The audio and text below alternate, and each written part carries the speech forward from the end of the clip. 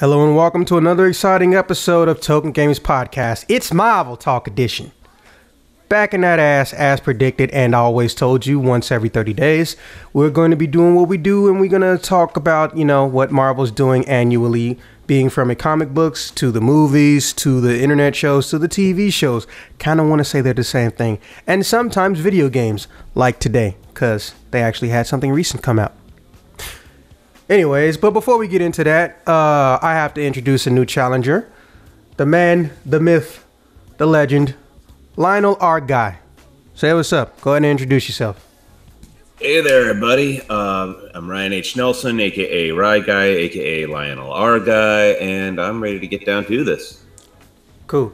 And we have the ever popular catchphrase slash pun machine, the facts to end all facts, Xeno 120. What's good? Uh, what's up? Uh, I don't know about the rest of that, but uh, sure, yeah, you can call it that.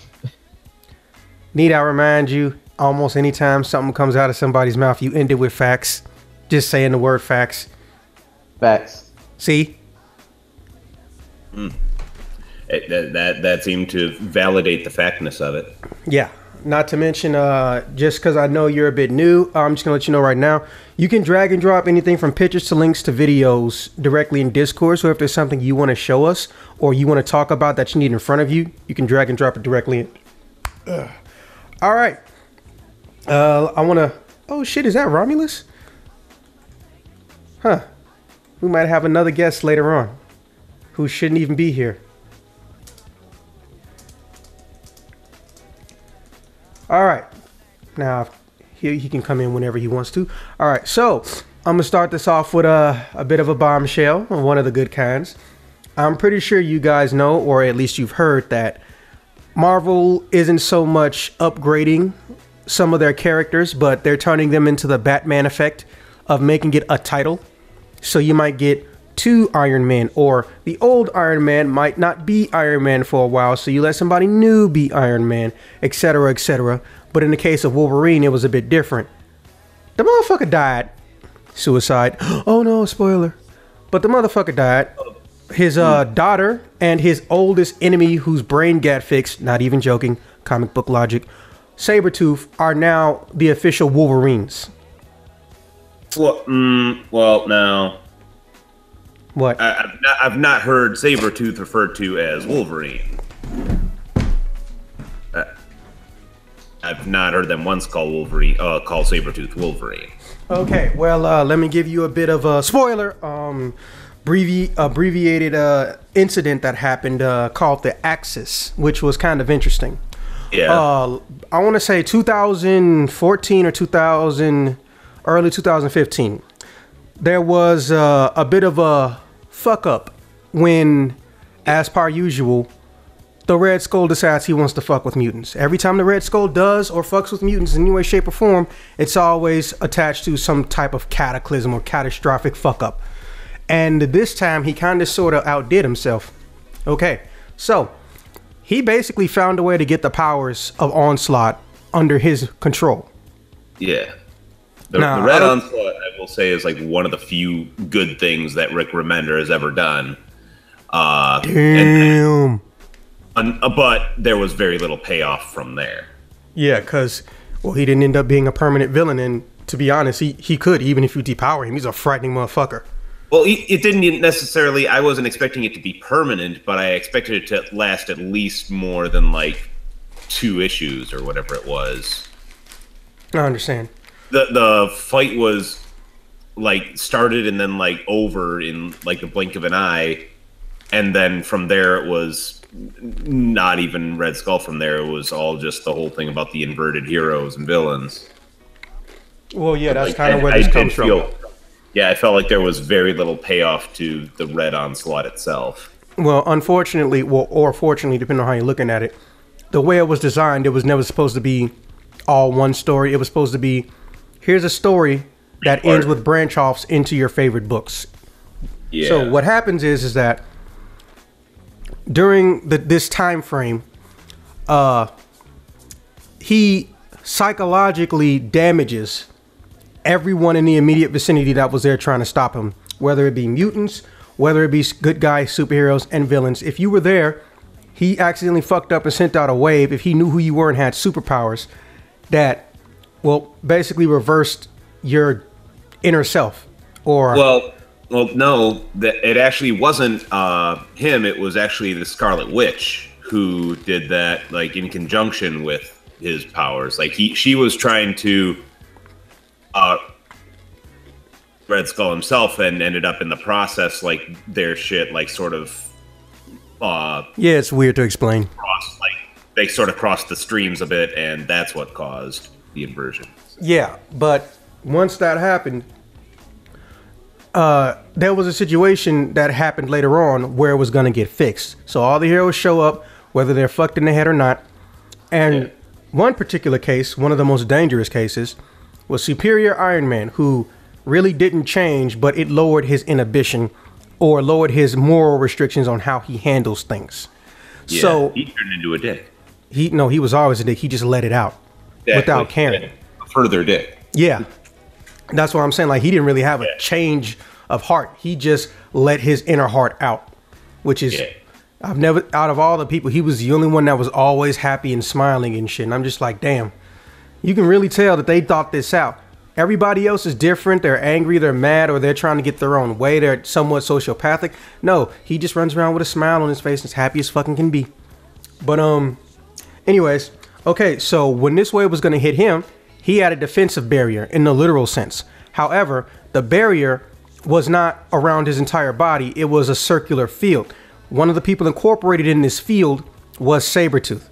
Yep. But unlike Tony, Sabretooth did not get, well, reverted, which is kind of weird and also good because that means now, for the first time pretty much ever, Sabretooth is a legitimate good guy, quote unquote. Yeah. I'd take that with a great, however you will. It's still Sabretooth. yeah. Kind of a kind of a dickish good guy, but a good guy. Yeah. Yeah, yeah. And he holds back. He ha- shows regret. He has restraints. And there was a temporary time where him and Daken and X23 were looking for someone, and they became a team of all called Wolverines. But since then, I don't even know what the fuck Daken's doing. I don't even remember him being involved in Secret War 2015 or 2016.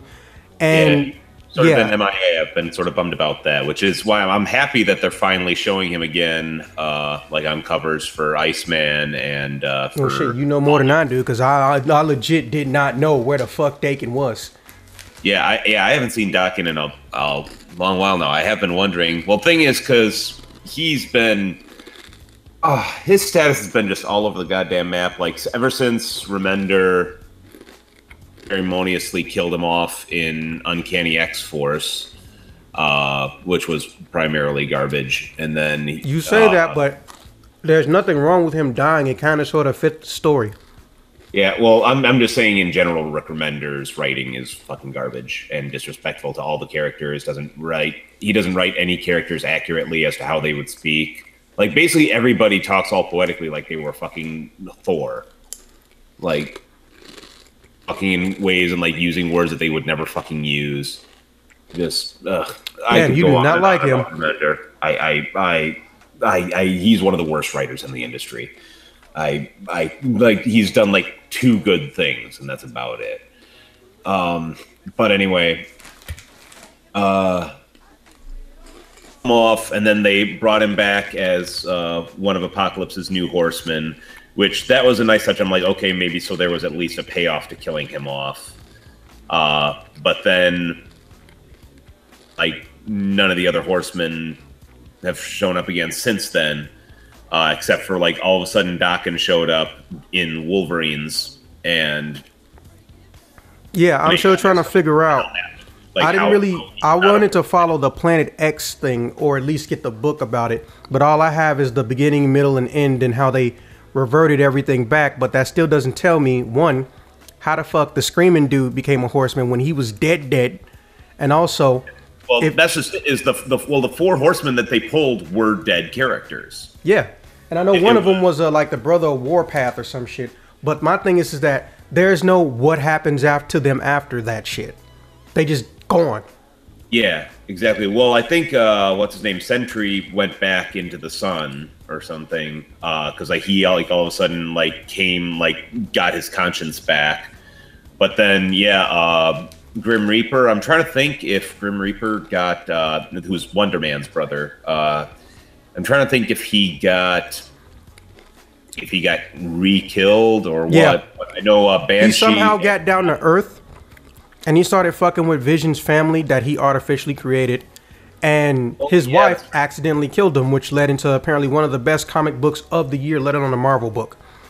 But Vision, like I, I didn't read the entire thing, but I uh, I, I read a good chunk of it and was actually like pretty surprised. Yeah, because it got really dark and really fucked up. That being said, I don't spoil it for me because that's one of the ones I want to pick up because it's so different. And people keep saying it doesn't feel like it should be a Marvel book. And I'm just like, well, they did something you didn't expect. So yeah, it should be a Marvel book.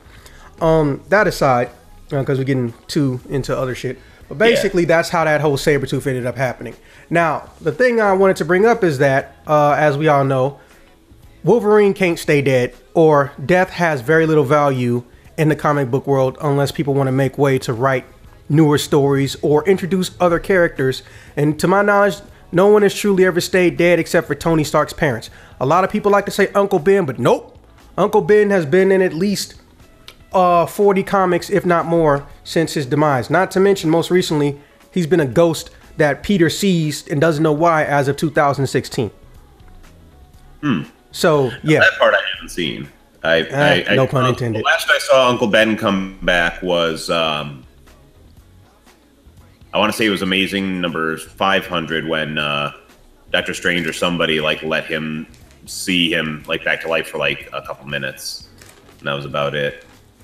Um, I've seen him referenced since then, and uh, and the whole thing with uh, uh, clone conspiracy was like he was the one person that uh, Jackal didn't bring back. But yeah, haven't seen the the whole ghost thing. Uh, I'm I'm curious to see like what what book uh, is that in? Do you know? No, I don't, but I know it's after 2000's 2000's Secret uh, Wars. So, or Secret Wars 2, whatever you want to call it. It's after that. It's when he's got his body back. Octavius is going. He's like, "You're not here. You're not real. You're dead." And he's like, "No, Peter, it's actually me. I'm not. There's no villain bullshit behind it." And he's just like, "No, fuck off. No, there's no way." But then he start partially starts trying to believe it. But the thing is, is that it might have been a situation which has happened on numerous times with specifically Spider-Man one writer starts it, the other writer forgets it, and then no one mentions it. Uh, yeah. So uh, I'll look, I'll get more info for you later on. But uh, yeah. Yeah, yeah, So would- yeah, basically, I'll believe you on that. I just I, I haven't seen it myself. So no, I know. Like I didn't really. I just watched Comicstorian or either um the other guy, Comics Explained, and I was like, what the fuck. So yeah. Anyways, all right. So uh, what they've done is they've basically incorporated as many Wolverine family members as they can to be somewhat of a placeholder. I feel like it's more like Highlander situation. Okay, we're gonna go throw all these famous Wolverines in, and whichever one's the most popular stays. So, in the past, just eight months, we got Old Man Wolverine or Old Man Logan, who was from Secret Wars, Wars and a mini series that got really popular about seven years ago. We have Laura Kinney, My- aka his biological clone daughter thing, X23, now being now going by his old alias and code name. We have Sabretooth Wolverine, and we also have now his biological son Wolverine from the Ultimate Universe has now got thrown into the 616.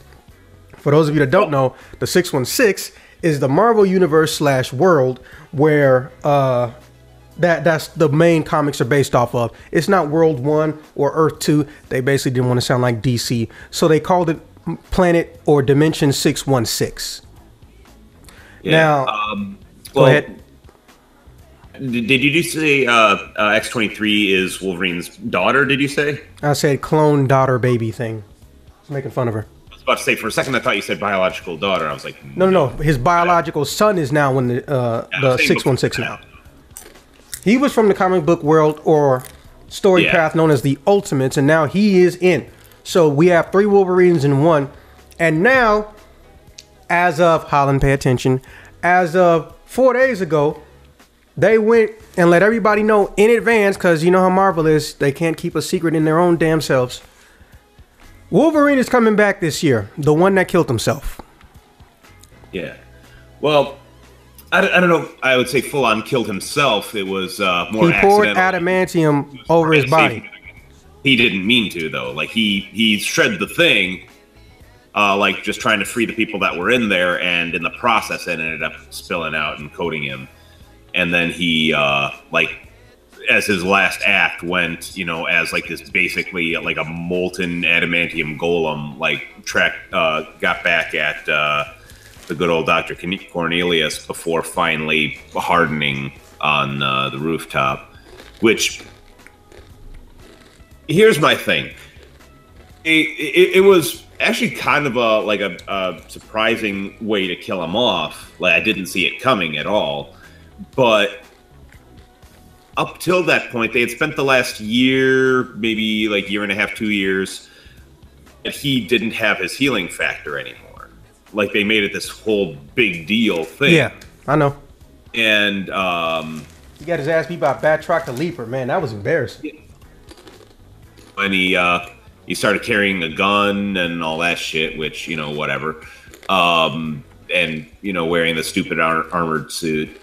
But see, here's my thing, and they ended up giving him like an injection of like a small sampling of his uh, healing factor again. Then at the end, which you know fine. But the whole thing was they they were making it this whole big deal that you know he was going to get killed, you know, because he didn't have his healing factor anymore and that this was this big thing and whether they gave him like that small sampling of it in the end or not the way that they killed him it would have killed him even if he did have his full healing factor like on full blast Yeah, Like, he's so I'm like, so basically suffocating.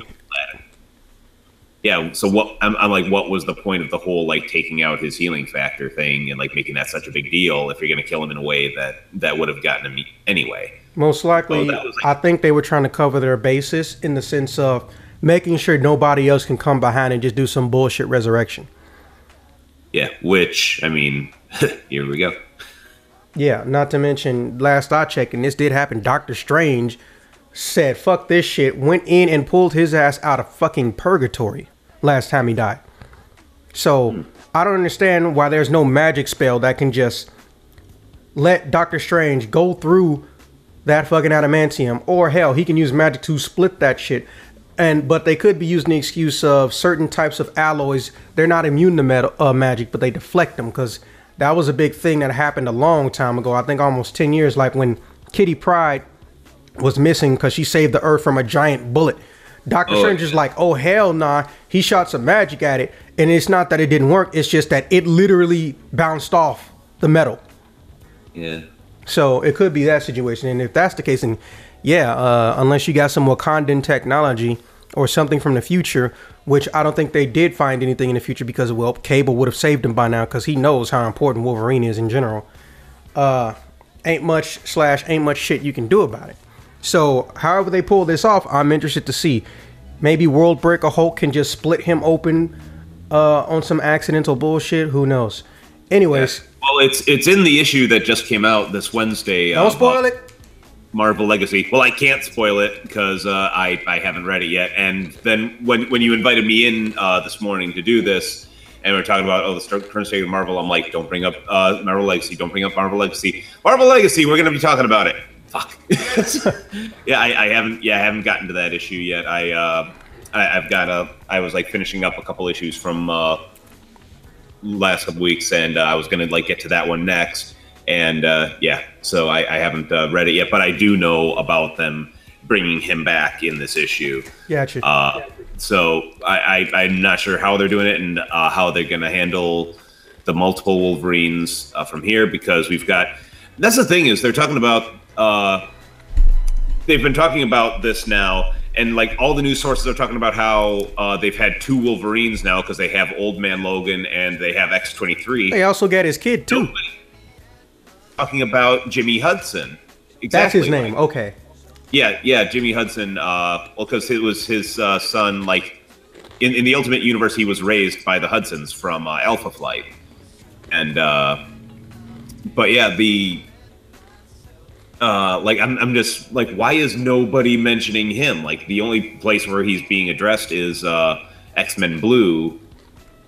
Uh, now, like one of the regular team members, but like none of the other sources who are talking about all the Wolverines that are around are mentioning him. Like it could be eh, that they were not informed. You got to remember when it comes to this whole Wolverine stuff, a lot of it is isolated and people just find out later. Like X23, everybody knew X23, but they didn't know X23 when they first when she first got on the team. It was just, "Hey, you're like Wolverine's daughter or something." Well, fuck, where did you come from? Like no that's how they've always done it with people in his family or things around his biological essence. Like when we met his dad, and when we found out who his dad was and what his dad was when he went to hell, he didn't tell nobody about it. It's just how it's, it's just how they've always done it in his, in his family's case. It's never been more mainstream or more popular like you know Cyclops, where it was always a big thing. Every time he has a family member, is somebody stupid, powerful, or destructive as fuck, with the exception of Adam, which everyone can't make their mind up on if he's a bad character or if he was just poorly written. I don't really want to get into that, but a good old extreme. Well, well, they they decided he's not uh, even uh, a Summers. Like he, he was at one No, point. he's not. going- They weren't sure, but no, he's a biological child of, you know, the mom. He's their maternal half brother. He's not on the dad's side, Corsair's child. At least that's how it was explained to me. Uh, don't know who told you that. Uh, to my knowledge, he's actually like. Is he Shi'ar descent? I think he might be like Shi'ar. Like, I, I might be wrong on that. Don't quote me on that. But I remember them like talking in the past about how he was going to be uh, Summers, and then uh, it turned out he's not. Yeah. like e- not even halfway. But so I, I don't know. Um, but and even as far as the family, like I'm, I'm very happy to see Daken coming back. Like keep in mind, like Daken, like is a character that I when they first introduced him, I fully expected to f- just hate him. Like because because we already had X23, which I'm like, okay, it's at least an interesting concept. I don't know. I, I tend not to be a fan of like, oh, it's the son uh, or the, the daughter of this famous character, and now they're going to be their thing, and it's going to be just as good. And it's like, oh, god damn it. But um, he then when they started like after X twenty three, then they start saying like, "Oh, here's the son of Wolverine," and I'm like, "Oh my god, no! Don't do this! Don't don't give him a fucking stupid mohawk and tattoo!" Like, oh, god damn it! I just hate everything about him. I ended up actually learning to like him, and especially during uh, uh, Marjorie Liu and Daniel Way's run on uh, Daken Dark Wolverine. I met him. Like, He's a hilarious drunk, by the way. oh, oh, uh, Daniel Way. Yes. Okay. He's You also a met him. Deadpool writer, too. Yeah, he he was like so but I really did uh really liking uh Marjorie Liu's runs on both uh X23 and Daken. Like it gave me new appreciations for both of them. Like I love just how unpredictable uh Daken turned out to be under her penmanship. Like it just it was definitely one of those where you did not know what the hell he was going to do next. Um, and X23, I ended up actually liking that run, especially uh, like with Gambit as a supporting character. Who anybody who knows me knows uh, Gambit and Nightcrawler are both tied as like my favorite X Men. I feel like Gambit became the definition of an uncle for the Wolverine clan because if you notice, X23 is like one of the only people he never hit on, and it wasn't because he's scared of Wolverine. He's he's one of the only people not. It was because he knew she was hurting and that she was not okay, and she but she didn't know how to talk about her shit. That's why Yeah. I really really liked it when she first got into and how she met with Jubilee because it, let's be honest, Wolverine had two daughters before he had 23. It was Jubilee and it was Kitty Pryde. But Kitty Pryde's more like the daughter that's out of the house, and Jubilee is the one that's still in the house. So their whole first meeting, spoilers, because man, this shit's like 11 And- years old. yeah, she fucking tried to kill her like by by by literally cutting her up in half from the bottom up. And then you just see the whole next frame is like Gambit like, no, calm down, don't fucking kill her. She just tried to kill me. And then next frame is like, why can't I kill her? She's one of the people been trying to kill us. I'm confused. And then at like the end of it, like what three, four pages later, they're jumping off of buildings to go talk to cute boys. I'm just sitting up here like, oh my god, this is really, really well written. Why don't they have a book together? Yeah, like that was good. Eh, some some would also argue that uh, uh, Rogue was like kind of a, a daughter to Wolverine in that in that Nah, same vein. it was the, it was more along the lines of older man, younger woman thing. Yeah, but uh, like, well, I, I will say this: like Gambit, I certainly a scoundrel, but uh, I, I've not known him too much to go for the underage, you know, folks. Like even uh, even during uh, uh, Peter Milligan's run on uh, on X Men when they introduced Fox, who was actually Mystique. Spoiler. Uh, but like you know, and when she was like constantly hitting on Gavin, he's like going like, like no, like this ain't appropriate. No, like like you gotta go uh, scurry along now, chef. Know. So, but but yeah, definitely, it was good to see you know the the level of respect that he you know that they treated Gambit with uh, in terms of uh, his relationship with her, and then uh, what book was it too when they like later started having like uh turned out it was somebody fucking with Gambit, but like having like X twenty three like all of a sudden like you know kissing on him and he's like like no like no this ain't cool like no, No, that was uh, the same series. What happened was is they were trying to get some answers out of Lady Bishop, Lady Bishop, Lady Sinister, Yeah, yeah, and she was like, Miss "Oh, Sinister, I'm not yeah. what you're into. How about this race? How about this race?" Then she turns into X23, and he just like slaps the shit out of him. Yeah, yeah.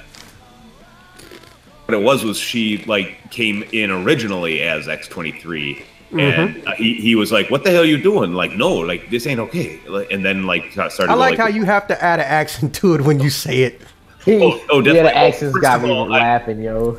Gambit in a couple like fan projects in the past, and uh, and I also do uh, uh, cosplay of Gambit, which I now actually unfortunately have to like put on hold because I ended up uh, busting my sho- uh, my boots from him uh, at ASEN this year. Long story. Damn. Uh, my, my one of my boots ended up being like completely taped up, like the sole was like ripped off, like all of a sudden in the middle of things. But well, I mean, I know some uh, engineers, both literally and cosplay wise. So if you ever want to possibly get a quote on something, just let me know and I can link you up. I'm looking to like redo my Gambit costume because as it is the the Gambit costume that I've had for all these years has been one that I like put together myself based on his uh, black and silver outfit from that era, from that from the Milligan era with uh, Fox and all that.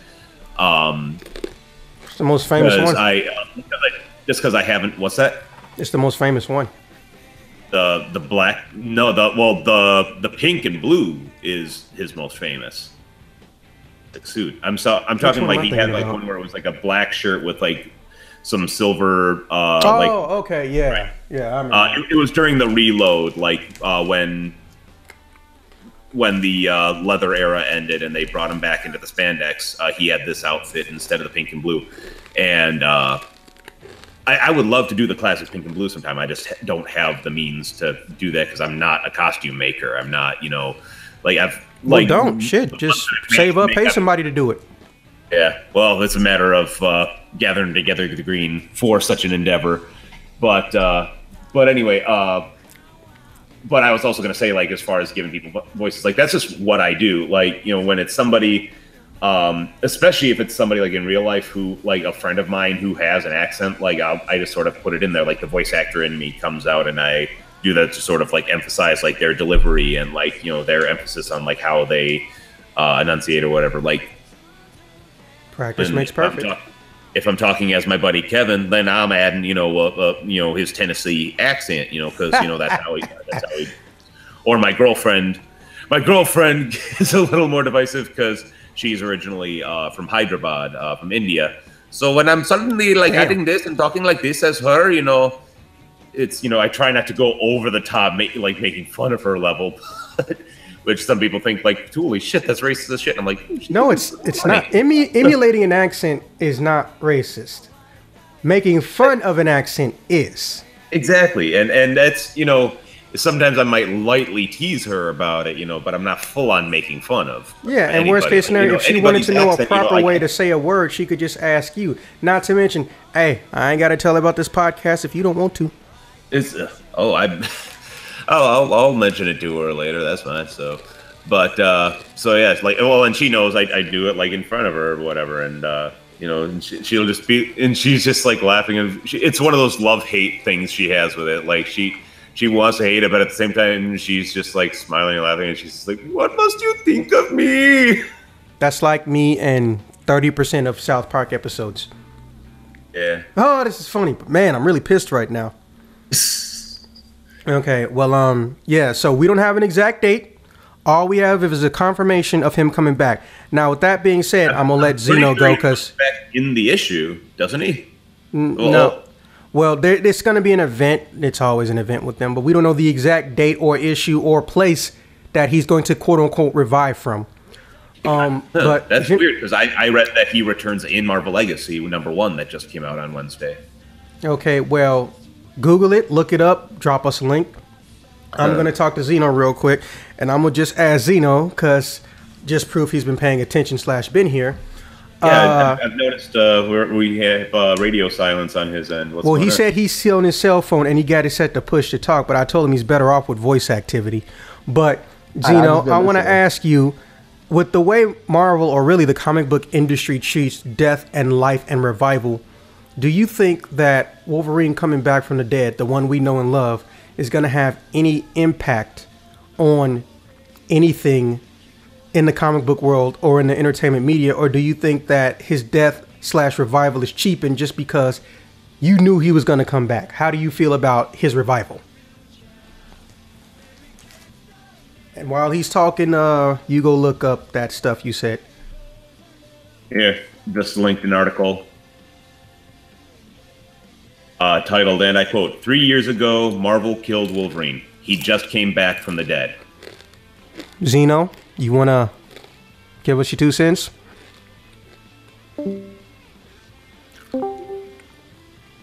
My Hello? bad. Oh, my bad. Um, so honestly, can you hear me? Yeah. All right, cool. Yeah, you're here. Um, I'm not surprised because like Wolverine is like one of the most like well-known Marvel heroes. Um, it's not something that I, I didn't see coming to be honest, especially comic book logic because comic book logic can mean anything. So No, no, no. along- That's anime logic. interdimensional time travel, more or less. It's A comic a little of column A, a little of column B. yeah, okay, yeah, like a fusion or something. Yeah. Oh. Well, as far as the movies, I think it'll.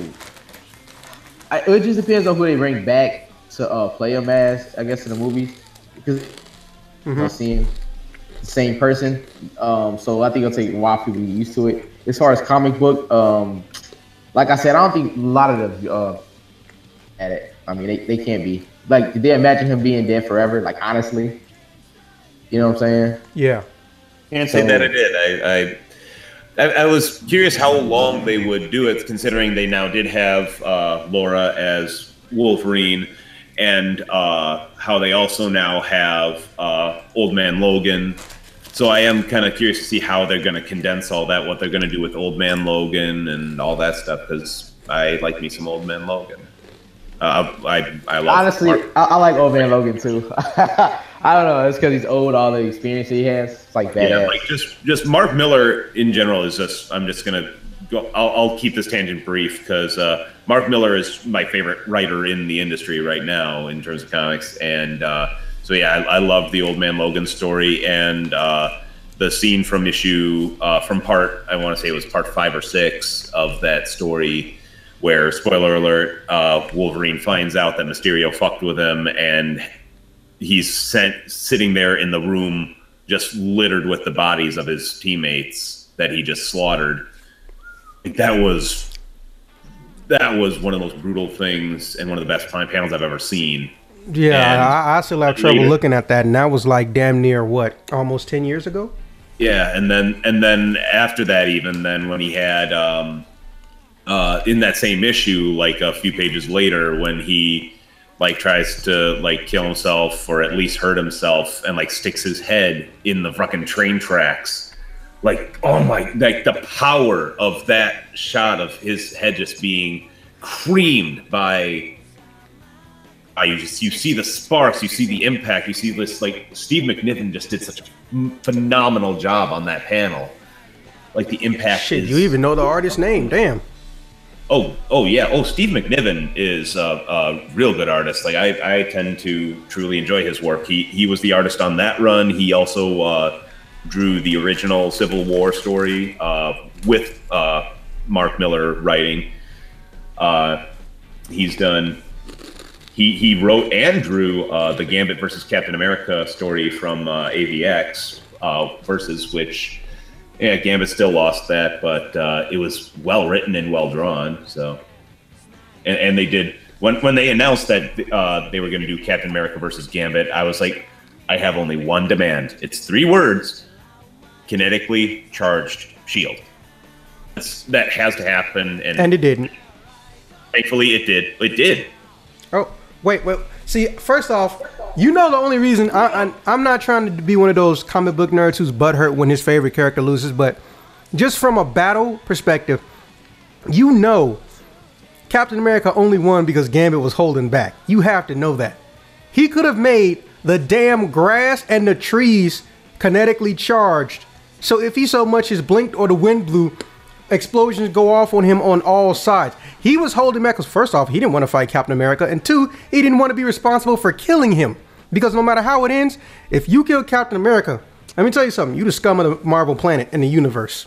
Yeah. Well, well, and here's I, don't know, like, well, Gambit's whole thing, part of his uh, limitations is that he can't charge anything organic. So I've always, you know, wondered what his limitations are in terms of like plant life at that point, because technically that is organic life. Uh, so then, like, but then he can apparently like charge like uh, pieces of like bark or whatever that like sticks that fall off or whatever. But like, I'm not sure as far as like a fully loaded like tree that's still planted in the ground. I think it's he can do organic life, but there are some stipulations. Like when it comes to plants, they can't be rooted into the earth. So he could have picked up blades of grass, let that shit blow in the wind, and keep blowing up, creating explosions, concuss his ass, or just fuck with his consciousness, take his shield and run off. There are so many ways that Gambit should have won that fight, but, but didn't. Because they didn't want him uh, to. I did, uh, but I did enjoy that moment of him getting like a like grabbing the shield and being like, "I guess you were looking for this, huh?" Catch. You know, it happened sooner than I thought. I thought that would be like one of the climaxes to the fight, but uh, the way it happened still was very good to me. So, but um, we got it even on a further tangent there. I was just commenting my my love for Mark Millar's work, both for Marvel and his own stuff. You know, for Kick Ass, uh, Superior, all that stuff. Um, but yeah, so. But yeah, Old Man Logan was a story that I loved of his, and I was very happy to see it come back during Secret War, and then uh, uh, that he's remained around and had like the ties to the original story, but also sort of creating his own thing. So, okay. Well, that being said, Zeno. Anyway, like get back to his thing. So my yeah. apologies for. Uh, okay, so you didn't feel you feel like it was expected or it was just predestined. So with that being said, Zeno, um, do you feel like in the other forms of media, as in TV show, if he ever ends up on one, or movies, that his death is more permanent? Because I don't know if you know or not, uh, Fox is obsessed with getting Hugh Jackman to always, always play Wolverine. But he said the only way he's doing it again is if Marvel is involved, as in he's in a Avengers or some type of Marvel movie not made by Fox. Other than that, don't call him about it. In fact, he shot down Ryan Reynolds a whopping dozen plus times when it comes to being in any of the Deadpools, both one and two, and anything in the future, which also includes the X Force movie. So, do you feel like Zeno, his death is more permanent in other media, or you think same, different place, same Wolverine? Um, other media, like TV shows or something. TV shows and movies. Movies, I can't say so, cause um, with so many movies coming out, I like like you said, he, he wants Marvel movie, so I can't blame him on that. Um, Deadpool kind of got hit with the end of the, the short end of the stick, but anyway, um, um, maybe depending on how the views Hey, go. are you on voice activity because you you accidentally let go of the button, so you cut in and out just now? My bad. So as far as TV, it's I, I would think I think it depends on how the uh, the views go, like how many people are actually watching it and stuff. Uh-huh. Uh, whether or not they break on. Um, but the movies, I don't. I hmm. I can't say I. I put it in the middle with it because at the same time, I'm sure people will like go see like other Marvel movies or like X Men movies without Wolverine because there's been plenty with them, like not being like like some of the main protagonists or whatever. But um, And nobody likes him. right. So I I the, people, no, that that's that's basically what I'm saying. Like people still go see the movies regardless. That's just that's pretty much it.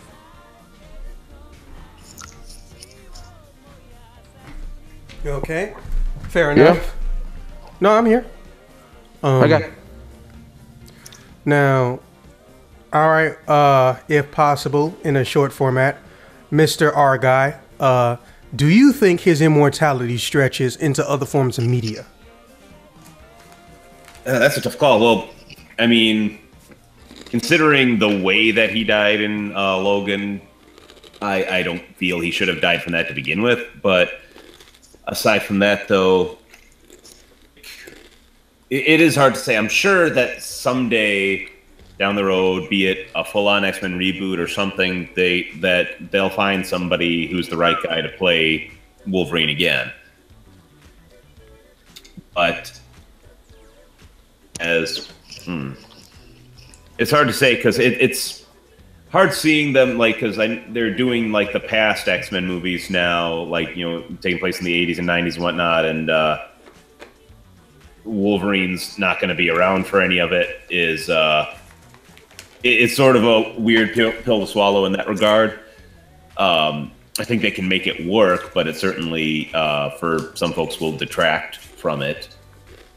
Um, Ooh, far as- with with the with that um as far I was I was looking at the Colossus um like line about whether or not they want to make a movie with him, and they they said um a possible cast. I don't know if you know what that is for Wolverine. Say again. you cut out there. I said um as far as Wolverine casting for movies, they were party for uh Colossus. Hey, are you on a, Are you on your PC or are you on uh, your cell phone Discord? I'm on my computer. Okay, you might want to try your cell phone Discord because it's not on Oh. our end, but you your microphone is shutting in and out like every three or four words. It, it keeps cutting out at the exact same spot too. So like the same part that we had you repeat was the exact same part that got silenced again. So, That's weird. Um, I haven't. Um, I think he said he's gonna go switch. Okay, yeah. And now we play the filler game where we come up with random shit while somebody has to do something important. Okay, so this other Ghost Rider.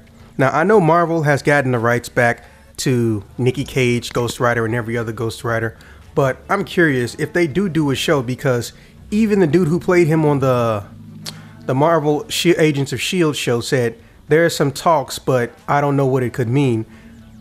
Why don't they just have all of them?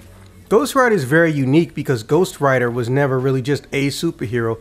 It was he's not even really a superhero if you stop thinking about it. Ghost Rider is more of a a, a type of spirit or entity. So if there are two Ghost Riders already, and then you introduce a third, and the third, he's not so much more popular, but he's more mainstream and more marketable. Doesn't mean he's better, but he's just more marketable. Why don't you have it be all three of them? Just literally go Ghost Rider 1, Ghost Rider 2, Ghost Rider 3. It would be the first time and the only time where we've seen a character and a protege or apprentice or a character have a buddy buddy relationship with another character who's got a similar issue. that would be so different and unique right now. Because here's Robbie Reyes, he's fucking up, or he doesn't understand his ability. He just think he has to stop bad people. Then here's the big Ghost Rider who can fuck up him and the other Ghost Rider. He's like, look, this is what you are. You have two choices: do what it tells you, or go and quite literally fucking find ways or travel the world and figure out how to get this shit expelled from your body which could eventually lead to them meeting Doctor Strange or something like that. Like there's so many ways they could do Ghost Rider. All right, Zeno, are you back? Yeah, I got it. It's on my phone now. Okay, cool. Now go ahead and say what you said about Colossus. Um, they have a Colo- they were thinking about a uh, Colossus standalone movie. Of course they were. uh, as far as far as um Wolverine goes, they were thinking about casting Tom Hardy. I, I do remember No. that name that came up. No, no, not Tom Hardy. No. Yes. He still has to go do Mad Max 2, but no. Damn it, I want somebody short.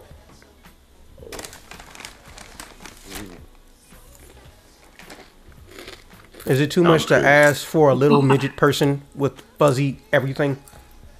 Tom Cruise. That, that's We what could- No, no Tom Cruise. Some body wigs on uh, Tom Cruise, just a few wigs on his chest and stuff, and just That is a terrible mental image. him Oh, jumping, God. jumping up and down on couches, clawing the walls. We already got stuntmen for him. There's a guy on Instagram right now who was born the same day the Wolverine comic first came out, who is five foot three, and guess where he lives? Hollywood, California, Canada. Who knew it was going to be one of those two?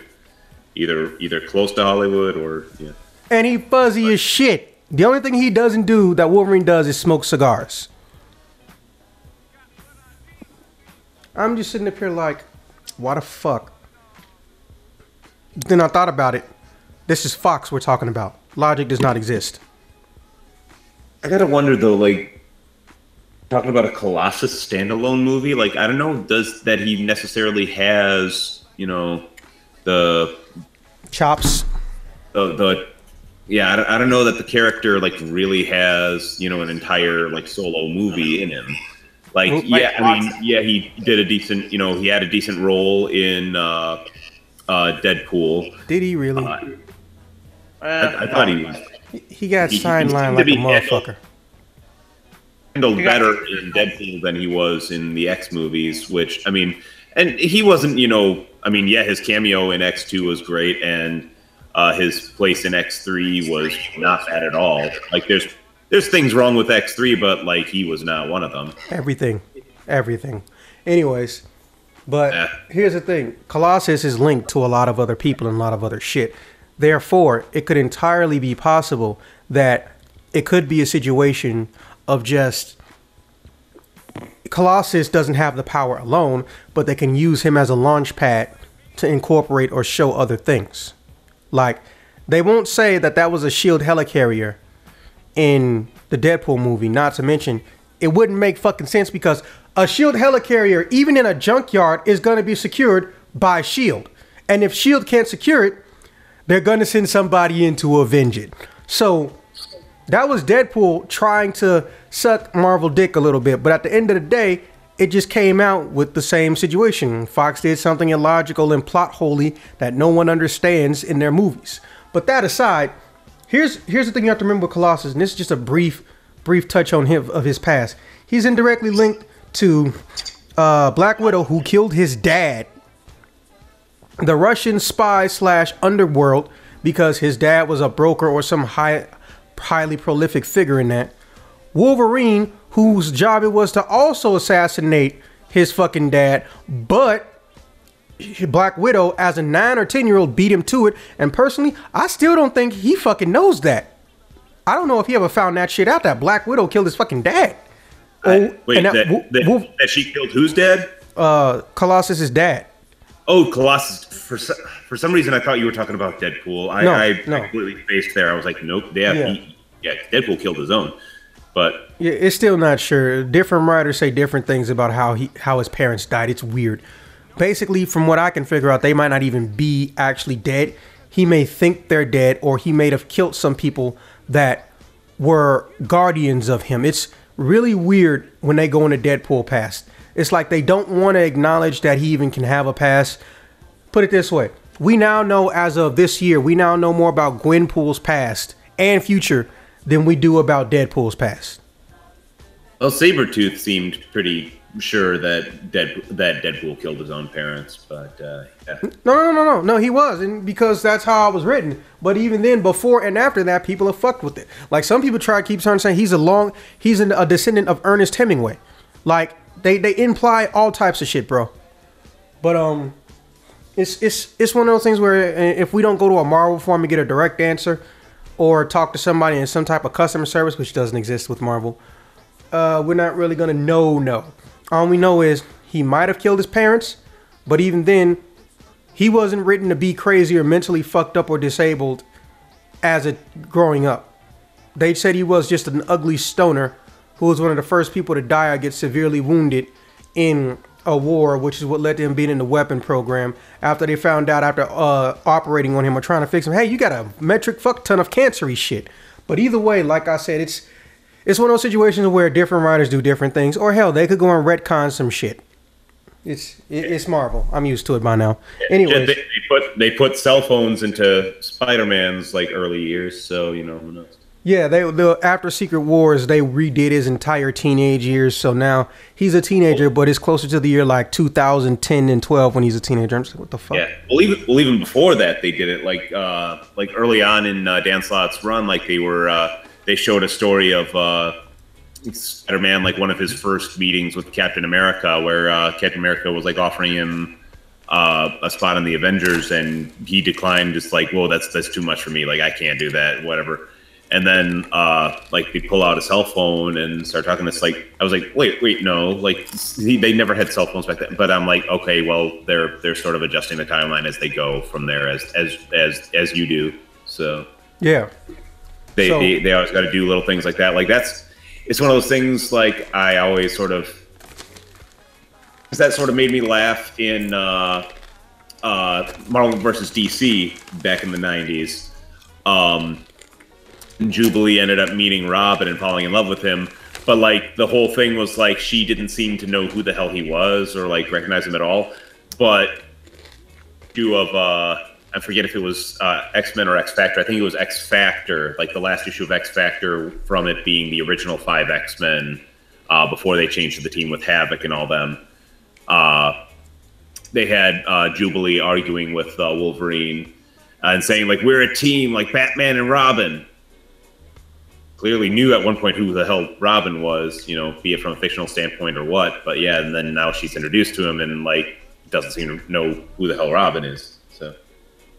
It's it's you have to look at DC references through a sense of basically the characters at some point in time met the DC characters, but it's never really discussed because they know that they're from a different dimension and they don't live in the same world, let alone dimension. Or B, some people still remember Marvel versus DC because there's a scene, and I remember this not too long ago, where Iron Man tried to hire Kitty Pryde when they were doing A plus X to work at his computer. And he said, but he learned about how her abilities would save the, the world or save the day, because that's how these stories really end. Save the day. Learned that fucking uh when she goes into her transparency or her matter phasing abilities, it disrupts all electrical currents. So he says to her, so basically, when you phase, you can destroy and disrupt all single electrical, all electrical signals. He's like, yeah. So basically, you're kryptonite for Superman. Yeah. And they both just figure out, okay, there's a chance if she phases through me, I'm going to instantly die. So he doesn't like fire her, but she doesn't get the job. Because it was basically an audition, then something tried to take over the world, some other generic shit. And he's like, so you're basically, so it'd be like Superman if he walked around with a kryptonite, ba- kryptonite uh, person every day. It's like, yeah. And I was like, what the fuck? When the hell did he meet Superman? And I thought about it. He kind of sort of didn't. He fought Superman, but at the same time, I think it's just the Marvel, the Marvel characters acknowledge the existence of DC characters. Unlike in DC, the DC characters do not acknowledge Marvel shit. Even though Spider Man's exclusively has had crossovers with Batman before Marvel versus DC. I didn't even know that. Oh yeah, Th- there was that. They met like four and- times. Wait, what? Yeah, I know. Well, and they had before that they had uh, and uh, and the Teen Titans crossover. They had um, well, Access. The last time that we saw Access, the the original character from Marvel vs. DC, was apparently in an issue of Green Lantern. Like he just randomly shows up, and like hasn't been heard from again since then. But um, yeah, and and can we just talk about how interesting it would be them do amalgam again like today They're not so gonna. much so much shit has changed since the 90s and it was fucking that was amazing back in the 90s like the the things they managed to do like hell dark claw alone was like one of the coolest covers i've ever seen in my life Dude, and then they haven't even clarified for the common people who owns those characters.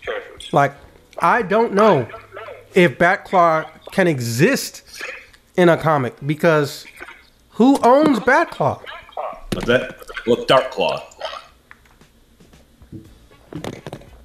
but yeah they should dark claw have they should like have used Batclaw. Uh, Zeno. Hey, What's up? are you on voice activity? Yes. Okay, uh, cause we can hear ourselves talking through you. You might want to try push to talk this time. Oh gosh, all the problem. So yeah, I don't know if anybody can Google that or find out who owns the Marvel versus DC characters. Because even if they shared the characters, which I don't believe, they would have tried to put them in a movie or something or some type of media again by now. Yeah. Well, and that's the whole thing is like Marvel and DC really haven't done any crossover of any sort since uh, uh, Avengers and uh, Justice League, uh, which is a bummer that they uh, seem to not be able to play together these days. Uh, but like I, I remember, like even when they did the amalgam series and the Marvel vs. DC series, like Marvel published half of the issues and DC published the other half of the issues. Which is why the coloring was so fucking weird. the yes, um, it was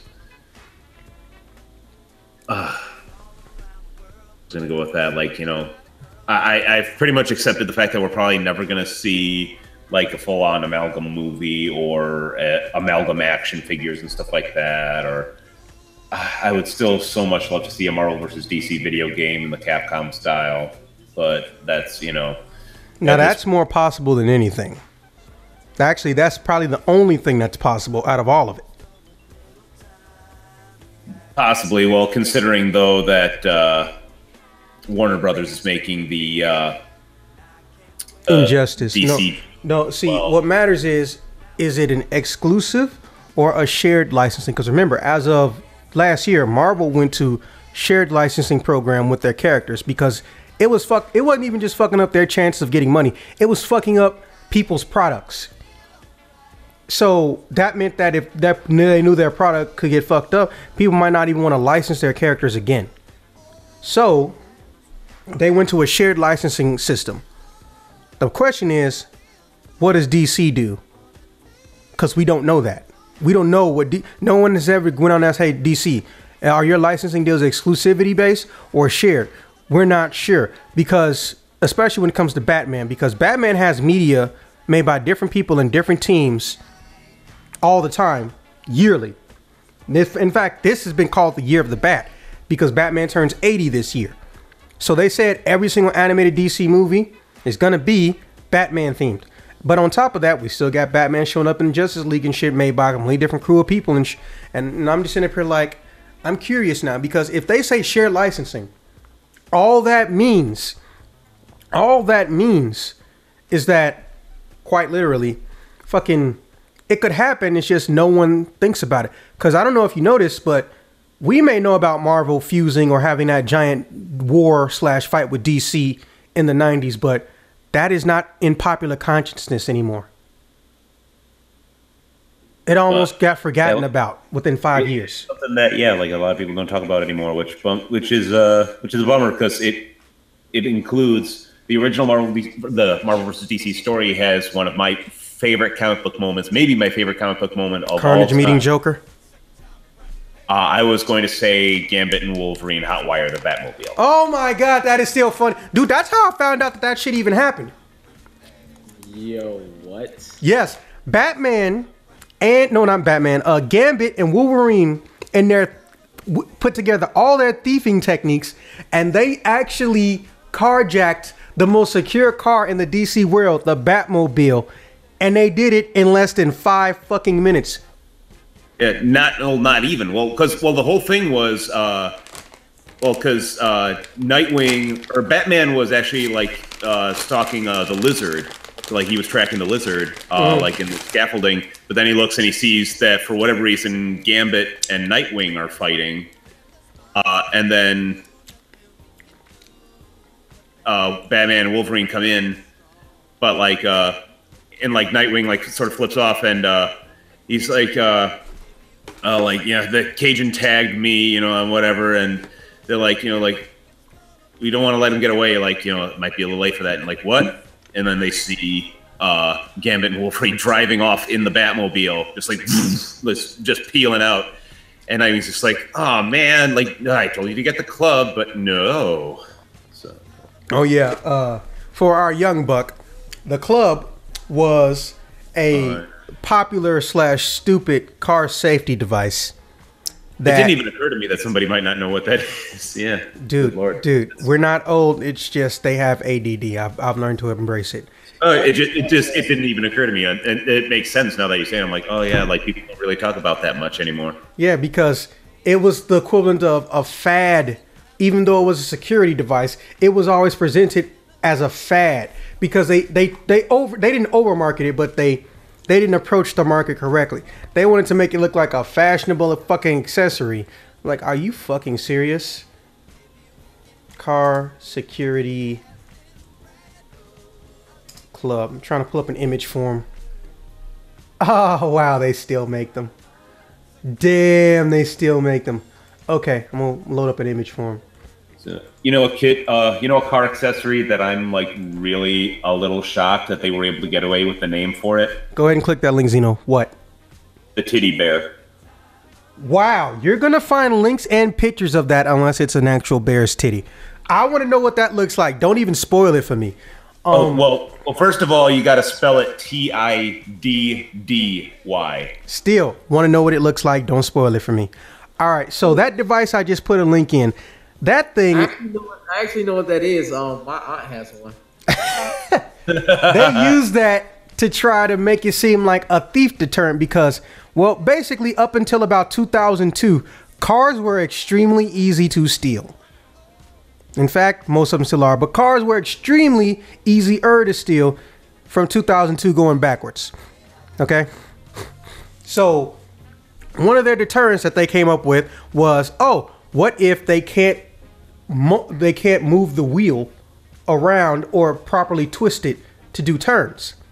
So the club was born, but they advertised it in the weirdest way possible. It was like infomercials mixed with happy-go-lucky, uh, nondescript pop porn star porn music that no one ever cares about, listens to, or thinks is good. And then they tried to say, now it comes in multiple colors. And it was just really weird. Like, how is something as serious as car theft being taken so, so fucking lightly right now? Well, well But it's how are you sold. supposed to properly give a car thief the middle finger if it if it doesn't look fabulous in the process? Yeah. And. Oh, fabulous. Yep, that's what we do it.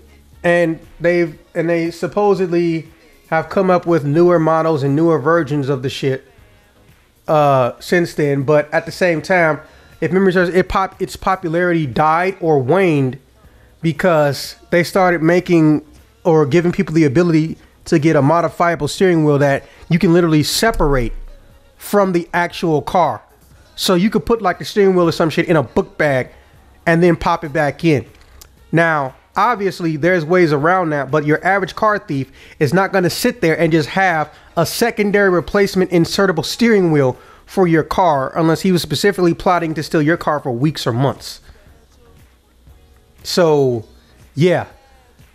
But they still managed to make upgrades and whatnot. And to my knowledge, they've actually they still come out with newer models or newer alternative versions of their same shit. In fact, there's one that looks almost like a box and it goes around the entire steering wheel. It doesn't just hang out in between your thighs or in some uncomfortable position. So, like, when the minute you lock it in, oh, found it. The minute you lock it in, you legit, it the wheel itself can't fucking move. You there is no steering, and here is it right here. Yeah, take a look at that image. Now, now, hang on though. Were you saying that the whole thing with part of the thing with the club was that you could put the club in your backpack? No, no, no. You could separate your entire wheel now. Oh, And when that happened, that's when there was a bit of a decline. But at the same time, wheel separation was expensive, and it kind of still is. yeah, I, I would imagine so. Yeah. Yeah, okay. I, I get what you're saying now. And yeah, but that's one of the more recent versions of the club I just dropped into the chat. Yeah, I was about to say, like, what what is the point of carrying the club in your fucking backpack? The whole point is to leave it in the car. Yeah, yeah. But okay, so Okay. yeah, I got you now. All right, so uh, to get a little bit back on topic, or rather to get to topic three. Um, all right, so one of the other things that has been a consistent concern or issue, because well, it's I'll, I won't say it has the most exposure to the most people, but it it's it's the most it's the easiest to talk about because there's the most of it, and that is the world of internet and television. Now, in the case of Marvel, there's always something happening like there is always, always, always something fucking happening. Because it's it's I don't know, it's cheaper, easier, it's got a higher payback. Who who who can really say? Bottom line is is that all bullshit aside, it's got more material and more media. So more people will have more to deal with. Now, I don't have the exact show count in front of me or know exactly how many, but for the time being, I'm going to say, let's see, Legion, uh, the two X Men shows, oh, no, Legion, the other X Men show on Fox, Good. um, Jessica Jones, Luke Cage, Punisher, God Awful Iron Fist, Daredevil, and I think I'm forgetting somebody. Well, now they're doing um, The Runaways, yeah, the Runaways. I was gonna say they're doing Runaways. They're gonna be doing Cloak and Dagger. Uh, They've been talking about that for almost ten years. I don't even give a shit at this point. be- uh, they're also doing uh, the New Warriors, the one with Squirrel Girl. That's supposed to be like a sitcom too. So I'm, if Dan Harmon needs to work on that, but still, still. And, and yeah, and and we've seen now finally the the trailers for uh for for it. It looks okay. I don't know. I'm not saying I hate it, but okay. So we have a metric fuck ton of television-based media. Wait, wait. How do you feel about the Inhuman? Oh yeah, that's right. Look, look, we gonna get into that. We, but there's not much to say.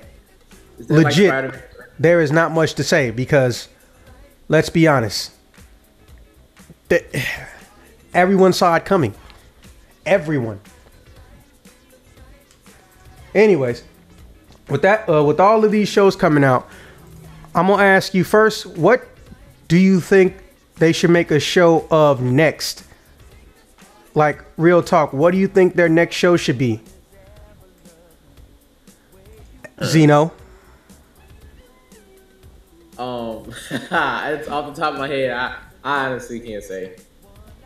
I'm I'm honestly waiting for the Punisher because ever since uh, Daredevil season two, um, slash the Punisher, I've been waiting for uh, him to like. Has anybody else noticed he has the only monologues in like all of the Netflix shows? No matter who it is, no matter what the show is, this motherfucker has all of the good quotable lines. One character. And actually he shares only one of those lines with fucking the uh the Wilson Fisk. But outside of that one quote, all the quotes for the entire Marvel Netflix shit, Daredevil, uh, fucking uh, Punisher has them all. That is crazy. He has all of them. My favorite one. You think I don't know you two are in love? Mind you, I'm paraphrasing. I seen the way you two flirt with each other, talk with each other. He's my baby. She could always hurt me.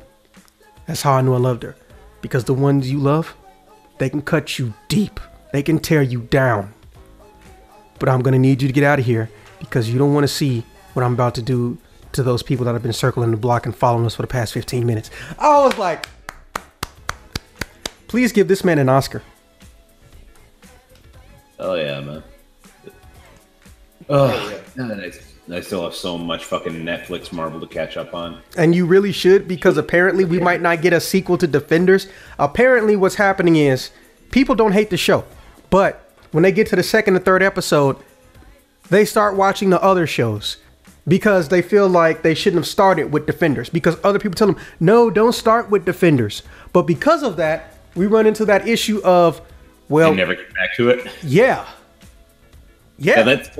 I haven't started Defenders yet because I've I've still been admittedly catching up on all the other ones. Like I had started like way back when it first came out. I got like apparently that's like all of you.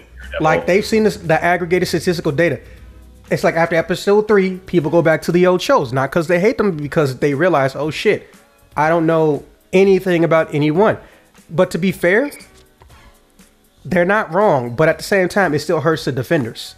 Yeah, so I- I'm I'm catching up now. Like recently, over the last uh, couple months now, I've finally been watching it a lot and watching it like with my girlfriend and stuff. So, um, Look, don't do that. Oh, let's watch one episode a week like TV. Don't do that shit. It hurts Netflix. Don't do that. I hate when people do that. Just watch two or three episodes in a binge and then go do something else and then come back the next day. Don't do that one week an episode shit. That fucks up our chances of getting new shit. yeah. So between that, yeah, like I I I I've, I try to binge, but it's a matter of like sitting down, like having the time to do that in the middle of everything else. Between like trying to do some voice work or uh, uh, trying to get some gaming in or whatever, and like. And it's a matter of like if I'm gonna sit down and watch something, I want it to have my undivided attention. Like I, that's not something that I want to put on like while I'm laying down, like so like you know stuff like that I'll leave to like you know some let's plays and stuff like that where I don't have to like pay attention and like keep continuity and everything. So because there's nothing I hate more than like starting a movie you know while I'm laying in bed or whatever like starting a movie or starting a TV show and then wake up halfway in the middle going like how the fuck long was I out like what did I miss? Fair enough. that's why I have like so much shit to catch up on, and and that's unfortunately the problem is these days when I'm home, I'm either uh, working on some voice stuff or or spending time with my girlfriend or sleeping, and that that's like basically been uh, my mo these you know for a, a long while now, and especially since I I work at night, so I'm I'm home during the day, and my sleep schedule is fucking dog shit to begin with. I feel you. I feel you so much. Oh, hey, hey, we, we know that life better than we, we could ever explain, but I will say this. If you get the opportunity to get out of that rut, fucking do it. Because if your body permanently, permanently adjusts to it, you're gonna be fucked for a very long time and it's gonna be very pricey to fix it. Because, well, me and Holland both used to work at UPS, right? And here's the thing the day-to-day life schedule, the nine to five, when ninety percent of the world is doing shit and being active, your body is trying to make you fall asleep, or it's not trying to move. But you have to get shit done, even if it's not going to a second job or anything, because at the time that you wake up to get ready to go to work, or even before it, everything else is already fucking closed for hours. So imagine going the minute you get off work, you have to force yourself to stay up to do other shit. On top of that, you have a semi-athletic job like working at UPS. And I do mean semi-athletic because in the case of UPS, unlike the other uh, parcel distribution people, basically FedEx and Amazon, they have the highest weight load and their package uh, movement is the fastest. So it could be a perfectly fine dry day. You come out that building, it looked like from your neck down to basically your ball sack, you got hit with a fucking water hose. Multiple water hoses, I might add. Facts. So basically, that makes your body once you come out that shower, you know, I want to go to fucking bed. But then you turn around and you roll over, you look at your alarm clock, oh, it's 6:30. I got to be at some place in an hour, hour and a half, especially if it's downtown. And that means that you can't even get in that bed. You better go get some fresh drawers, some clean clothes, and go right where the fuck you going and hope you can catch a little power nap on the bus or the train and not miss your stop. Cause you ain't about to pay to drive all the way downtown when you can barely maintain consciousness. So yeah. Don't get fucked, bro. Do not fuck yourself like that. If you can downgrade or change your days to make yourself more functionable or go to part time, just, just do it. You will thank me in the long run. Because I'm at Amazon and I've only changed, I'm now officially a double Amazon employee. And here's the thing there's only, there's only a two hour difference with my new work schedule. So instead of ending at about uh, and it, it, it ends around the same time. I I I, uh, I start at 3:45, which is usually when my other job will be coming to an end, and I go all the way from 3:45 to 7:45. So that, but here's the thing: when I get home, I am not drenched in sweat. I barely did any high level movement. Also, they have air conditioning in the whole fucking building, and they have the radio. It's not even half as loud as UPS, but I can function for that day and still go do my other stuff. In fact, I will go do whatever it is I got to do or run any errands after I get done from work and then go directly home, take a long ass nap, still not be time for work, and then dick around and do whatever I gotta do. But the thing is, is that my body is so trained from UPS to go to sleep that the minute I get home after coming from work, I want to go to sleep and not wake up, even though I'm not tired. It's really fucking weird. I even talked to my doctor about it. Like, oh no, it's it's it's not your body isn't tired. Your mind is just still trying to put it to sleep because you're wired that way now from your job. It'll take some time, or you have to make yourself do something high energy that'll actually make you waste time before you come to bed. Because as long as I keep doing errands or going from work to home, even though I'm not tired, my body's gonna say, fuck you, go to bed. My my thing, like I've been working uh, third shift now for like almost four years uh, over at uh, the casino uh, over by me in Milwaukee here, and uh, uh, for the years I've been wor- working 1 a.m. to 9 a.m., which was perfect for me as a performer because that meant I now had my days free for any commercial gigs that the agency came up with for me or any day filming or anything. My evenings were free for any theater stuff I wanted to pursue or any singing stuff I wanted to do. Uh, I could go, you know, hang out with friends late at night, you know, like a hangout party, you know, celebrate, you know, maybe have a drink or something like that. Like as long as I didn't come into work off my fucking gourd, then then I was set. You know, So it was just a matter of figuring out like adjusting where my sleep fit in in the middle of that. Like if I was doing something earlier in the day, then I you know do that and then sleep when I got home later before work. Uh, otherwise, I would if I had something going on later, I would sleep right away when I got home from work and then uh, get up early to do that stuff and then go to work from there. Now I work 9 p- uh, 9 p.m. to 5 a.m. because they did an entire like forced uh, rescheduling of everybody uh, in the department. And normally when they do a rescheduling, they do uh, an actual like full on rebid where they like basically make a list of all the different shifts that are available and all the slots for each of those shifts that can be filled. And they bring everybody in one by one uh, by seniority and have us bid on what shift we want from what's available. And then they just you know close it out from there this time they did not consult anybody on what they wanted to do they just randomly assigned everybody to shifts Dickish. and give us no say in uh, what what we got so Completely dickish. I was slammed with a 9 p.m. to 5 a.m. shift, which means uh, theatrically I am basically grounded right now. Like I can't do any shows because none of the shows that I do uh, are generally going to be done by like 8.15, 8.30, uh, like dependably to get me to work on time. So, so right now I have to take a theatrical hiatus until uh, I can get a new schedule. Um, do like filming stuff during the day and you know whatever voice stuff at home on my own time uh, but you know doing late night stuff right now like I've, I've i just recently got my weekends back now but it's still 9 p.m to 5 a.m but i at least have saturday night sunday night off Dude, I get Friday, Saturday, and Sunday.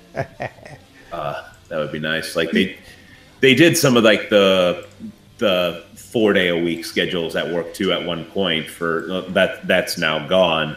But they were for some people doing you know the eight hour sh- uh, the 10 hour shifts four days a week which for them really worked and uh, like might have been nice to have those three days off but it was just hours that would have been just garbage for my uh, life outside of there. So and even then like it's still like i'm still like admittedly uh, I'm, I'm gonna take it on good faith that nobody from this particular casino is gonna be uh, listening to this particular podcast right now. Like, you know, we'll we'll see. I, I doubt that that's gonna be the case, but yeah, like I'm basically looking right now at uh, what other like career options I can look into right now because between like just emotionally what it does, like seeing people, like seeing what the casino does to people like what it does to the players, what it does to the employees. Dude, like, like the only reason, dude, dude, this that's how it is. The people with the money who don't give a fuck about anything else but the money and don't even investigate their own shit don't give a fuck about how people end up. That's why all those cigarette companies and all those people working for them say the same thing. Well, it's not our fault. We didn't tell them to get the product. It was like, motherfucker, most of them didn't have a choice. To this day, we still have a portion of people who smoke who got the shit forced on them the only reason they even have the whole, hey, if you're experiencing gambling addict or you know someone that may be, call this number, is because federal mandate. Same with the truth. The truth had to be funded by, well, let me phrase that. The truth anti cigarette smoking campaigns had to be funded by cigarette companies because it was a federal mandate. They're not going to do shit that's going to be positive that'll affect their profit unless someone forces them to. Period. Yeah, and, and, and speaking of the smoke, that's the other thing. Uh, this is a casino where they allow smoking inside. Uh, so which they shouldn't. That's that's a federal level law. That's not state level. That's illegal.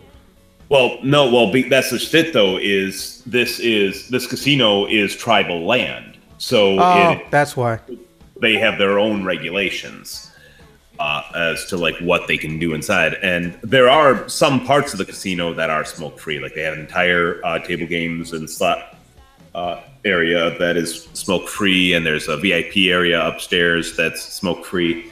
Uh, unfortunately, like we don't generally get a say where we deal. And there's fans at the table, but you know it only helps so much when you're sitting there dealing in the middle of a fucking chimney. So it, it's like I'm shocked that my my voice is still as solid as it is, which is good considering the amount of singing that I do, the amount of voice work that I do. And I'm sitting here going like, watch this. I never fucking smoked a cigarette in my life, and I'm gonna end up with fucking like throat cancer or some shit. So like that's another reason why I'm definitely looking into uh, other options. It's just a matter of finding something that's within my skill set and that also allows me some flexibility when it comes to my performance work which unfortunately is the part that will probably have to suffer in order to pay the bills because uh, the term starving artist didn't sort of fucking come from nowhere so, well i mean technically you didn't say really say the name of the uh, casino, casino. and if you did I, I missed it, so I don't expect any backlash. Plus, all we got to do is I, like I've sort of I've sort of kept quiet on that. So yeah, like, I, I don't expect anybody to. Yeah, I, I don't expect you know anybody to quote unquote hashtag or link a casino to this shit. But yeah. either way, fucking yeah, dude. They well, set up a casino in Milwaukee. Some people might be able to put the pieces together on that, but but oh well. yeah. So Anyways, um, hey, you know you need your voice. That job ain't the best place to try to keep it, so yeah. I really can't tell you much other than look. I'm not saying quit your job because hey, I'm not the one who can pay your bills. I'm just saying give a strong, strong thought to going out of your way to go and move shit over or transition into maybe the same job, but in a facility where they can't. I actually do know some friends that work. Well, they live in Indiana, but they come to Illinois to work at a casino, and it's yeah. government level. So uh, ain't nobody gonna be smoking. So you know, if you're still trying to go into the casino world, uh, I can possibly help you out there. Or you can just go to the t- uh, become one of the voice actors registered at uh, the talent agency we got on here. We got a really big, not big, but we got a really high end, but also still easily accessible talent agency down here by the name of Lily's, I think, or Lily. And I, I've been. Go ahead.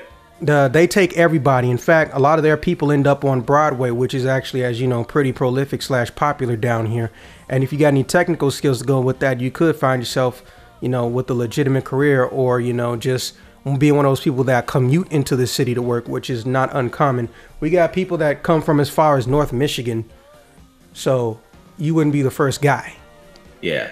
I- I've I've done some stuff down in like uh, Illinois, uh, between like Chicago and uh, hell, I was uh, working on a film out in uh, Peoria uh, for a while, a few years back. Uh, we unfortunately never ended up finishing that, but Oh, I've Um, been there. but we um what was i gonna say like lilies I'll, I'll have to look into lilies like there was there was some agency that i was talking to out there like maybe five six years ago Oh, don't worry, uh-uh. I'll hook you up. Uh, but yeah, we're getting too off topic. But basically, um, yeah, it's, just it's- oh, i I was just gonna say just like at the time i didn't have uh my sack? materials together solid resume and uh, headshot and everything like that so yeah like so they basically their thing was like we would love to work with you but you know if you don't have your materials together then uh, it's wasting your time it's wasting our time it's wasting the client's time so so yeah so now that i have my shit together like i, I want to give one of the agencies out there another shot so don't worry, I'm. back I'm, I'm gonna keep you. I'm gonna keep you hooked up. But uh, to get back on topic, um, well, I'm glad you like the Punisher, Zeno. So, uh, well, you already used that answer, so I won't try to get nothing out of you. But I will say this now: out of all the ones that are already out, Zeno, who you think you would love to see the most, or has the best chance, whichever you prefer, of going or being included into the movie mainstream? Or do you think none of them have a chance? Um. Well. Uh, Zeno, you're lit up, but we ain't hearing shit. No, I hear you. It's just he's talking really low. No, I, I Okay. wasn't trying to be too loud because I, I didn't really have. an I'm glad you can hear him because I it sounds mute to me. What do you call it? Well, Punisher and Daredevil already have movie. Um, but um, I, I don't know. I mean, as far as the Marvel universe, Marvel. like who do you see that's on the silver screen, the the the, the small screen, possibly going to the silver screen or big screen, character wise, or do you think no one, none, none of them have a chance? Um, can I go? I don't. I don't know. I don't know. Honestly, I don't know. Okay. Well, as far as me, my answer, for one thing, uh, first off, not Inhumans. I would have never done that in a million years. But I know it sounds mean as fuck, but I say none of them. And I don't mean none of them in the sense that I think they all suck. I say none of them because the way shit is set up and the way they do stuff and the way Marvel handles things, there may be a situation of time conflict. What if they want to put in Luke Cage, but due to his contracts with the Netflix and season two of Luke Cage, which is probably going to happen at some point, what happens when he has to go do those shows? Is Netflix going to say, hold up? We don't mind waiting and wasting all our money for you to go do this shit with uh, the guy that plays Luke Cage. I can't never remember his name. I keep wanting to say Morris Chestnut, but I know that's not it. I want to say it's Michael something. Yeah, also, that is the weirdest last name I've ever seen a black dude have. Chestnut. Ugh. Anyways. Or, and, and, then- what if it's on the reverse? Okay, somebody who's in a Marvel movie has to get, go and to make an appearance in a Netflix show or be in a bunch of episodes of a Netflix show. Oh, wait, it's time to go do Avengers, whatever, part whatever. You know? Michael- dude, they're simultaneously using all of their characters in between uh, the Black Panther movie, Avengers, the and the two Avengers movies. They're, they're using everybody, and everybody's going different ways, and then also Thor. So basically, since Thor went into production, every character is being used for something. So if they decide Okay, we get to Avengers 2, we got some little bit of wiggle room to go and include some Netflix people or to show one scene of them possibly fighting on the ground level, you know.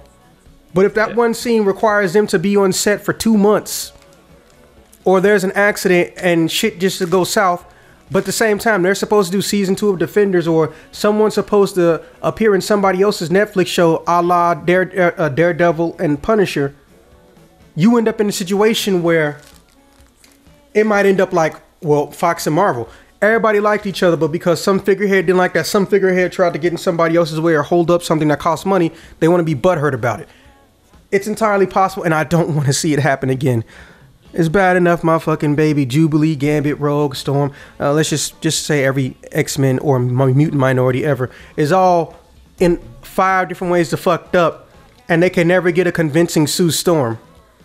I don't know why I like Sue Storm, but I do. But I, they can never get a convincing Sue Storm to play Sue Storm, or even an actual fucking blonde. So I, I would say the there's one one character one thing I'm surprised they haven't done yet. Like I'm surprised that they haven't brought Phil Coulson back into any of the movies yet. Like well, you would think, the thing is with think- Phil is Phil may be a, a, a, a iffy situation because I'm pretty sure you know there's been uh, plot hole or canon s- uh, de- derivatives by accident. But as you know, it's because a lot of these people on the movie end they don't check up in on the TV end. yeah. And they they know it's an accident. They try to say it's truthful and faithful to the source material, but sometimes they just have accidents. Like the Inhumans were not supposed to be treated the way they were in Marvel's Agents of Shield and on the big screen, but they knew they had garbage. Fox, not Fox, Marvel figured it out really quickly that they had hot garbage, but Disney still wanted to try to throw and make money off of it because that's Disney. So they knew that bomb was gonna bomb.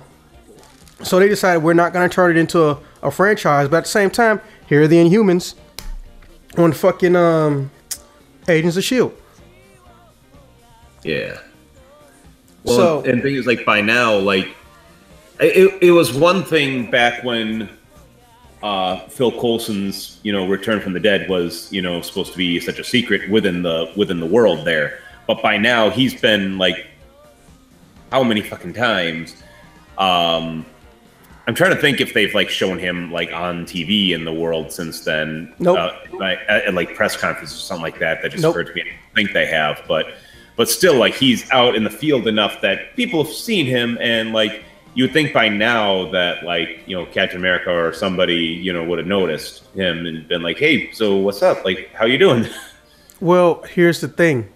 They could have already been clued into it after Schwarmer. Like, uh, Sam could have just called them and said, hey, uh, we were able to get him to the doctor fast enough. Coulson made it. And they could just not be brought up after that.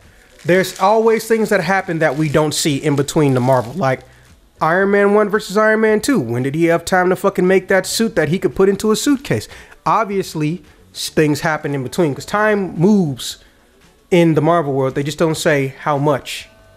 But the thing is that pisses me off though is just fucking Captain America and his goddamn hair. The motherfucker is a blonde, or he's supposed to be a blonde. But then when they show future situations or a situation that Tony has that weird little vision and shit, he's got a full beard and he's a brunette. And in fact, in the next movie, I think he's a, got a full beard and is a brunette. What the fuck? Um, maybe that's him undercover. I Could I be. I mean, I mean, he's kind he's kind of a uh, uh, vigilante now. He's kind he's kind of a uh, fugitive. That's what I'm looking for. He's kind of a fugitive now after Civil War. So you know that might be one way to stay under the radar. Dye your hair, grow a beard. Yeah, but of course, you know how Marvel's gonna do it. They're not gonna say anything about it. Like, why Black Widow magically got a fucking haircut? In Oh yeah, oh yeah. Now she's blonde. Yeah. Oh, you know, I'm just in the period. Why the fuck does she have a goddamn haircut? Anyways, Well, th- there are. I do notice that uh, there seems to be some sort of consistency between like what hairstyle she has based on who's making what movie. Like the the two Joss Whedon Avengers movies, she gets got one haircut, but then for the uh, the Captain America movies, she's got a different one. So that's sort of uh, something interesting I noted. But and now she's going full on blonde like um oh what the hell's the other there, there was another there was a second black widow uh something in Bellanova or something like that like I forget the girl's name uh who, who was a blonde she she was black widow for a while and Fuck, I've completely forgotten well, this and, person. and, and and she even like in Thunderbolts uh, a few years back, she uh, she was uh, undercover within them as this other Black Widow, like posing as the other Black Widow, but it was actually her the whole time. But that is, I forget which. as far as spies go, she's she's one of those weird ones. Um, Yeah. all right, well, and yeah, oh, she's also going to be included in Marvel vs. Capcom Infinite at some point in time next year. Or they're saying that the characters might come out so fast that they'll be able to put everybody this year in this year. Yeah. Um, anyways, uh, okay. And I was to say, like, as far as her being another one, of the, you were saying like she's one of those. Uh, as far as spies go, she's one of those weird ones. And now, well, now uh, thanks to Secret Empire, now she's one of those dead ones. Yeah, but you know how that shit goes. For all we know, she could have been revived when he did the whole reality rewrite or something. And also, it doesn't make sense if she just died and he just rewrote reality. How the fuck did she not come back to life? But Yeah, that's the whole thing. Is like they, well, they straight up said in the like end of the last issue, like they fixed everything with the history, but the people who died in this process of this, they're they're left dead. And I'm like, what, what the fuck is the point of it? What? Why would? What the fuck sense does that even make? thank you. Also, the fact that Black Widow said, "Ooh, spoilers," but um, her whole entire, I don't think she's gonna be missed as much as they want us or think that we're gonna miss her. In fact, I think the characters in the world of Marvel comics miss her more than actual fans do because it doesn't matter who you are. A lot of people like Black Widow for the wrong reasons. Smut. Not gonna lie. I've uh, talked to uh, legit Black Widow fans. Most of the time, smut factor. I, I. I will I'll straight up say like I'm I'm I've never been like the hugest Black Widow fan. She doesn't do either. much. Uh, like I, I don't hate the character, but I've never been like a huge like fan. But like she has finally like risen to prominence. No, she didn't rise to prominence. What happened was she became noted. She became infamous because one, she's played by Scarlett Johansson, who isn't even fucking Russian or can even pass a fucking Russian, and is too damn short. And two, because there were some Marvel executives, I believe Ike Perlmutter among one of them, who stated that the reason they don't make Scarlet Witch movies and toys because oh that shit's not gonna sell because girls don't play with this and girls don't like action movies. Not even joking what his actual response was, by the way. I'm paraphrasing, but that's pretty much what the fuck he said. And because Yeah. of that, that led to a bit of a bump in her popularity or her popular consciousness. But at the same time, nothing's changed. First off, it's a damned if you do, damned if you do situation.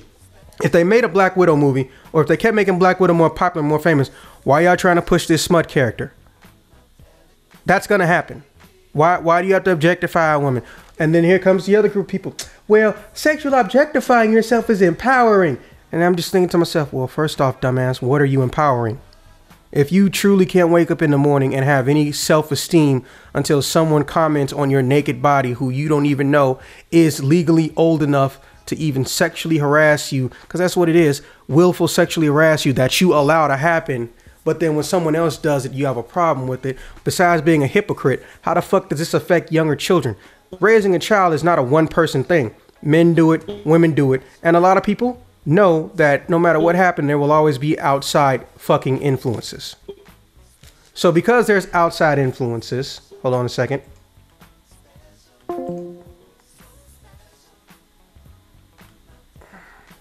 Okay, so because there's outside influences, There you go. Hi. yeah, Oop, Xeno's. yeah, Discord is doing some weird shit. It bugs out from time to time. And Xeno's back.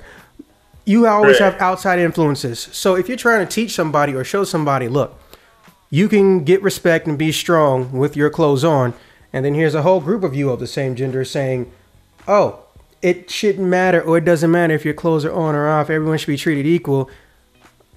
Well, you're going to cause some issues and you're going to cause a conflict of interest or really a paradox. You want to be respected and treated like you should be respected, but you don't want to act, think, or dress like society denotes it. Society is not determined by men. Society is determined by people that go out the fuck side and exist within a culture. So if your culture says this is some smutty shit, and you say the exact opposite, but you want to be treated like it's not, you're not making any friends. Now, Yeah, I don't know. I, don't know guy. that. I know I can't comment necessarily, but I'm not blind.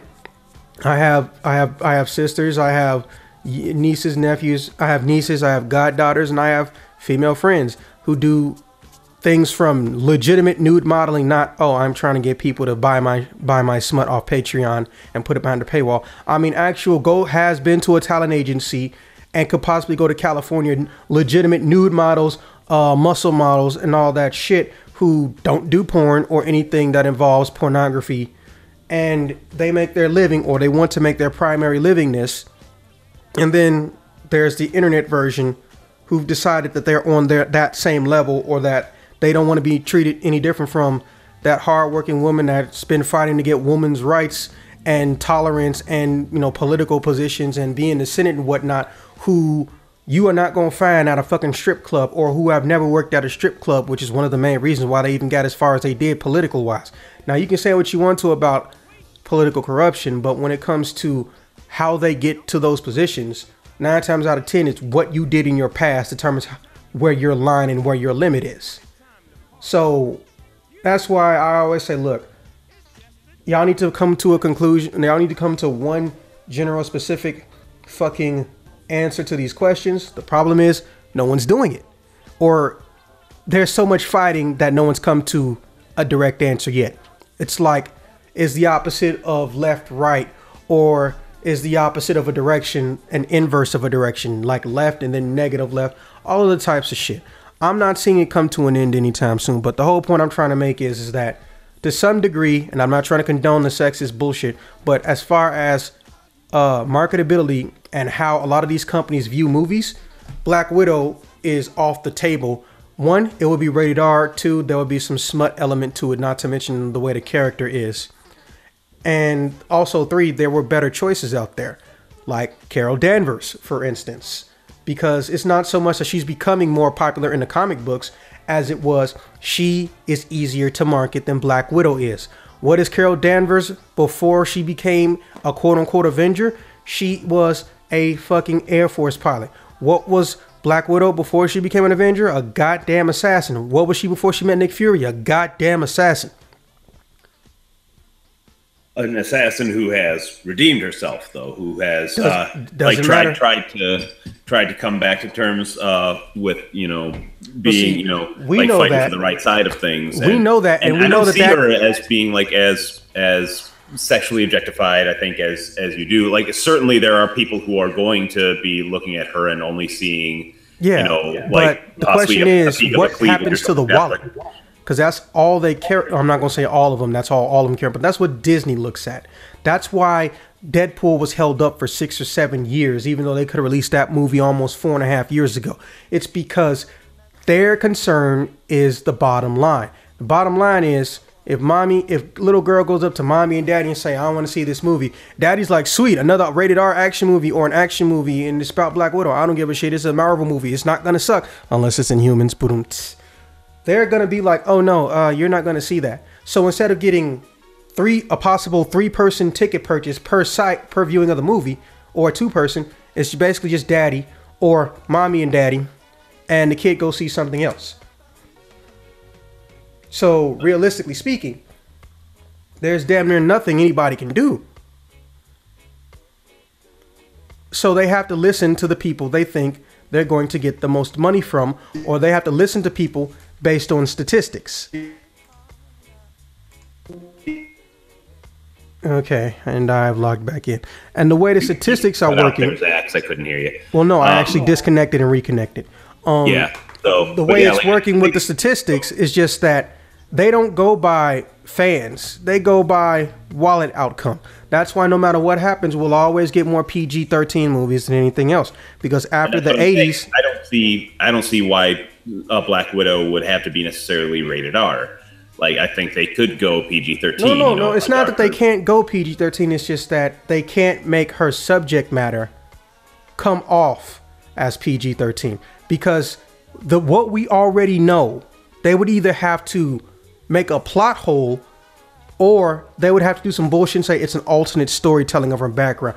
But bottom line is, is that yes, they could make a Black Widow movie right now, but they're not going to because they're not allowed to. See though. I'm here. Oh, okay. It sounded like you cut out again. Um, saying that because of uh, her background and everything like that, that it would have to be rated R, and yet we got you know how many Wolverine movies that weren't rated R except for Logan finally.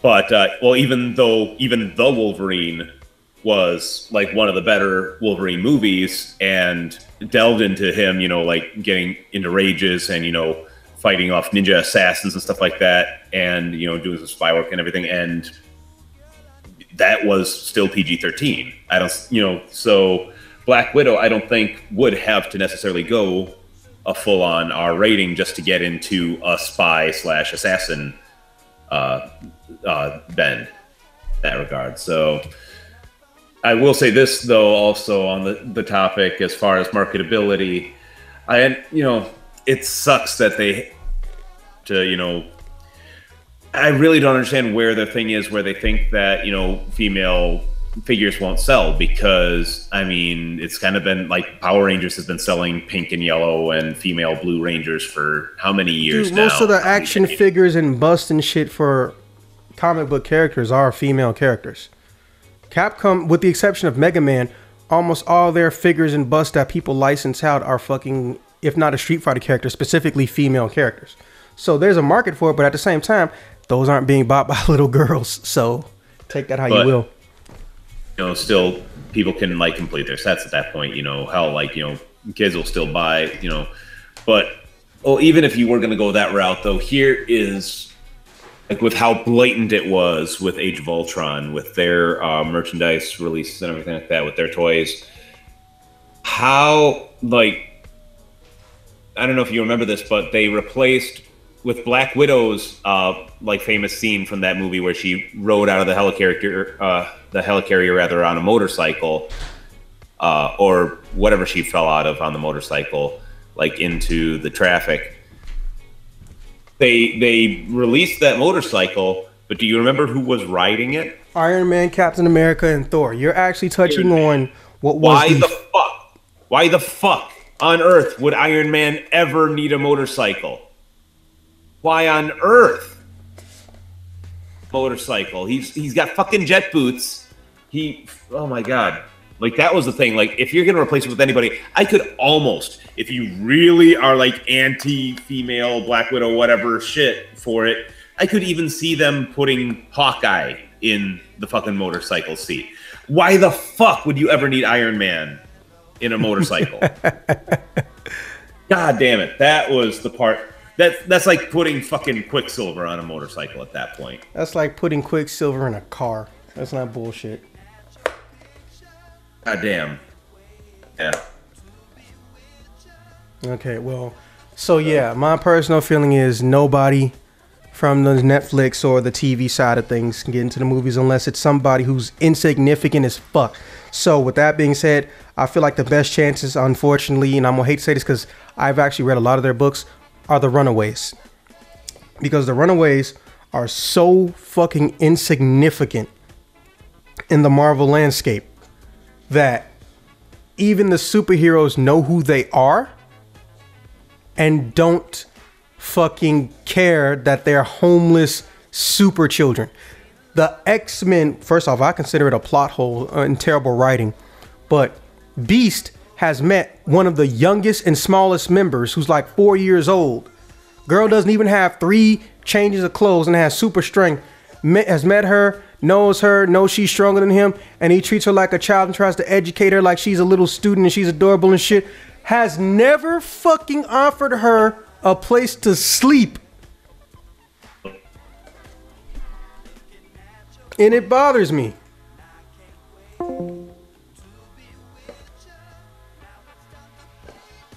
And I'm waiting for the connection to happen. Okay, and I'm back. All right, and it bothers the fuck out of me that lazy writing has made the Runaways somehow an ant or insignificant to the entire Marvel landscape. Beast has met one of the youngest and strongest Runaways, a little nine year old girl that ain't even got three changes of clothes. They have no parental upbringing. And fucking, I just don't get it. Why these characters are so small, even though they've had books that have sold so well, even though they're nobodies and they don't go around saving the day every day. Well, I know, like, didn't they at one point like try, uh, like to bring them in to do something, and the Runaways like fought them off or something like that? Like, because didn't because they, I, I know on multiple occasions they've tried to like bring them in to like try to like get them into like some sort of care or custody or something, and uh, I don't know, but whoever Like, it I- was, they it they- wasn't from the they brought in- superhuman community. It, it- I remember it being from the superhuman community, like in particular the one that I remember. Uh, and keep in mind, this I'm speaking as somebody who hasn't read a lot of Runaways. Like that's one thing that I want to go back and like get the trades for and like really look into. But like I've I've read like some bits and pieces here and there, and like the one that I particularly remember was uh, when they sent in a team uh, called the Loners, uh, who was uh, it was Ricochet from the Slingers. Uh, it was um, uh, Prism or, or or what the hell's the girl's name Dude, from? I don't know uh, any of those characters. Uh, it was uh, Turbine or Turbo, whatever her name is. Yeah, like, uh, can't recognize Warriors. none of And one I, I forget uh, what the other characters. Hey, well, look, we got Google, so I guess at some point you can Google it, or if you find out what happened to them or where they are, feel free. Because the thing about me was that I felt like the Runaways could get a movie or they could do a movie, but unfortunately, I think it was Hulu or someone that grabbed them up really, really quick about four years ago because they were getting extremely popular because they went from basically being a group of kids with no supervision to basically having to experience the Hunger Games for super minors, and they even kidnapped X23, and it was basically the, uh, the a Hunger Game setting, and because of this, you know, various things started to happen that were fucked up, and also they wanted revenge, so their whole goal became, let's go and get the motherfucker that caused this because apparently the bigger superheroes didn't even know that they had all got kidnapped. So once they figured it out, they still didn't know where they were, and the kids eventually did something that allowed them all to get free, so to speak. And even then, it was so fucked up that none of the adults can really figure out or find out what all went down in there because none of the kids want to talk about what what all went down and what type of person they learned they all really are. So that means that only they who had to go kill each other not even a whole week ago had to go and sneak around to go find this dude named Arcade and try to kill him basically. And I didn't finish reading that, but I really did want to because like I said, he kidnapped damn near every child who was ever every child hero who was thought to be cool with the exception of the Young Avengers because apparently if there's one perk group you're going to leave out of the teenage superheroes in the Marvel spectrum, it's the ones that everyone knows the most about, which I found weird. But it didn't bother me because I like Nico from the Runaways, so eh, that that's a little too off topic. But basically, I felt like it could have been the Runaways if you'd asked me before, you know, Netflix, I think it was Hulu licensing happened. But right now, I don't think anybody, because possibility of schedule conflicts and people getting butt hurt and locking up characters behind a paywall or just saying, no, you can get these over our cold dead rights expiration date, which is how we got fucking Ghost Rider. Even though Nikki Cage could have just said, hey, you guys want to use, Mar- uh, use my character? I'll let you do whatever you want to as long as I can play the character. Shot himself in the foot there. So, yeah. So I guess that just leaves you, uh, Mr. R guy. Who or what character or franchise from the TV side of things do you think has the best chance or no chance of transitioning into the big screen shit? Uh, that is a um, tough call on that. Um, I would have originally said like you know Inhumans because it seemed to have a more like grand cosmic scale to things previously, you know. But as far I, I had an answer for what I thought was the original uh, question of like what what characters deserve you know a show now or a movie uh, that you know just Marvel characters in general. Uh, my answer to that would have been, uh, and it could also work as a movie. Uh, just one of the teams that we haven't seen in other media yet, really, uh, the Thunderbolts. Uh, I just because it's it's such a and that would be a, a, very interesting one to see like how it could translate. I mean now we've already got you know the suicide squad movie that's a, a similar concept. Which means that uh, there's a bigger chance that that thunderbolt movie might actually happen. Yeah. I mean the thunderbolts did also have uh prime originally that it was a bunch of villains under the disguise of heroes you know, not to mention it. This is it, it, opens the door to a shit ton of cameo possibilities. So, yeah, absolutely. Um, see what they would do as far as the cast of Thunderbolts, uh, because I mean, you've got other iterations of them where, like, I mean, you had the one where it was led by Red Hulk, and it was a bunch of like vigilantes and stuff, uh, and, and, military and killers and stuff like that. Yeah, and then for some reason um, he thought it'd be a good idea to go grab Deadpool and then and not well because he's uh, you know a, a, popular and killer, and he fit the the red. I guess that they were going for. No, I'm just saying like he's unstable as fuck, and he's not really gonna obey an order unless he has to, or you pay him. So yeah, say, that's which, not somebody you want to be the good guy. That's not that gets to go home at night. They didn't arrest him. Yeah. So that then they also um there was, of course, the the fantastic run by uh, Warren Ellis and uh, Mike Deodato Jr. Uh, with that had Venom, that had uh, uh, Songbird. Uh, well, what's his name? Norman Osborn leading it, um, and then like guys like Swordsman, who I didn't think I was going to give a shit about. yeah, now that one I know a little bit about. I actually yeah, read that, some of their shit. Yeah, that it, it's it, it wouldn't be too hard to read because it's only 12 issues long, his run. Uh, well, I think he might have also done like a follow up arc with uh, Billy Tan. He might have written part of that. I'm, I'm, actually trying to remember. The main arc that I remember of his was the 12 issues that he did with Mike Deodato Jr. And holy shit, that was a good story. That was a great arc. Uh, well written, well drawn. It had one of the most insane, my memory of uh, when Venom ends up uh, going fucking ape shit around the base, uh, kills some of the uh, staff around there, and then you see this giant hulking uh, Venom like putting on this tiny helmet on his head like he's a fucking monkey. Uh, I just that the insanity of that uh, that particular visual was just great. I, I I thought that was fucking hilarious and also like a little bone chilling. So you've got those where it's like, you know, publicly, but then, but the original incarnation that was, you know, uh, heroes, you know, that were actually villains in disguise. I'm kind of curious what they would do as far as that angle of things. If they would go, you know, with like who the original characters were, as far as like that version of the Masters of Evil, or if they would take, you know, villains who have recently actually been in the movies uh, if you can find too many surviving ones, that is. you know, and put those characters in disguise, you know, as new things, you know, and, and try to go for that shock value, that twist. Okay, so your answer is the Thunderbolts. That's an interesting choice because they almost can't fuck it up because it's almost a blank slate. It's really just a title. All right, and moving I, on to I, our. I might have heard. Uh-huh. I think I might have seen that they are like talking that that. Hey, hey, Google it. Slated one. Google it. Hit the news section, and if you find anything, let us know, and we'll come back to it. Yeah, that's a good one right there. Yeah, go ahead and look that up. I'm curious myself.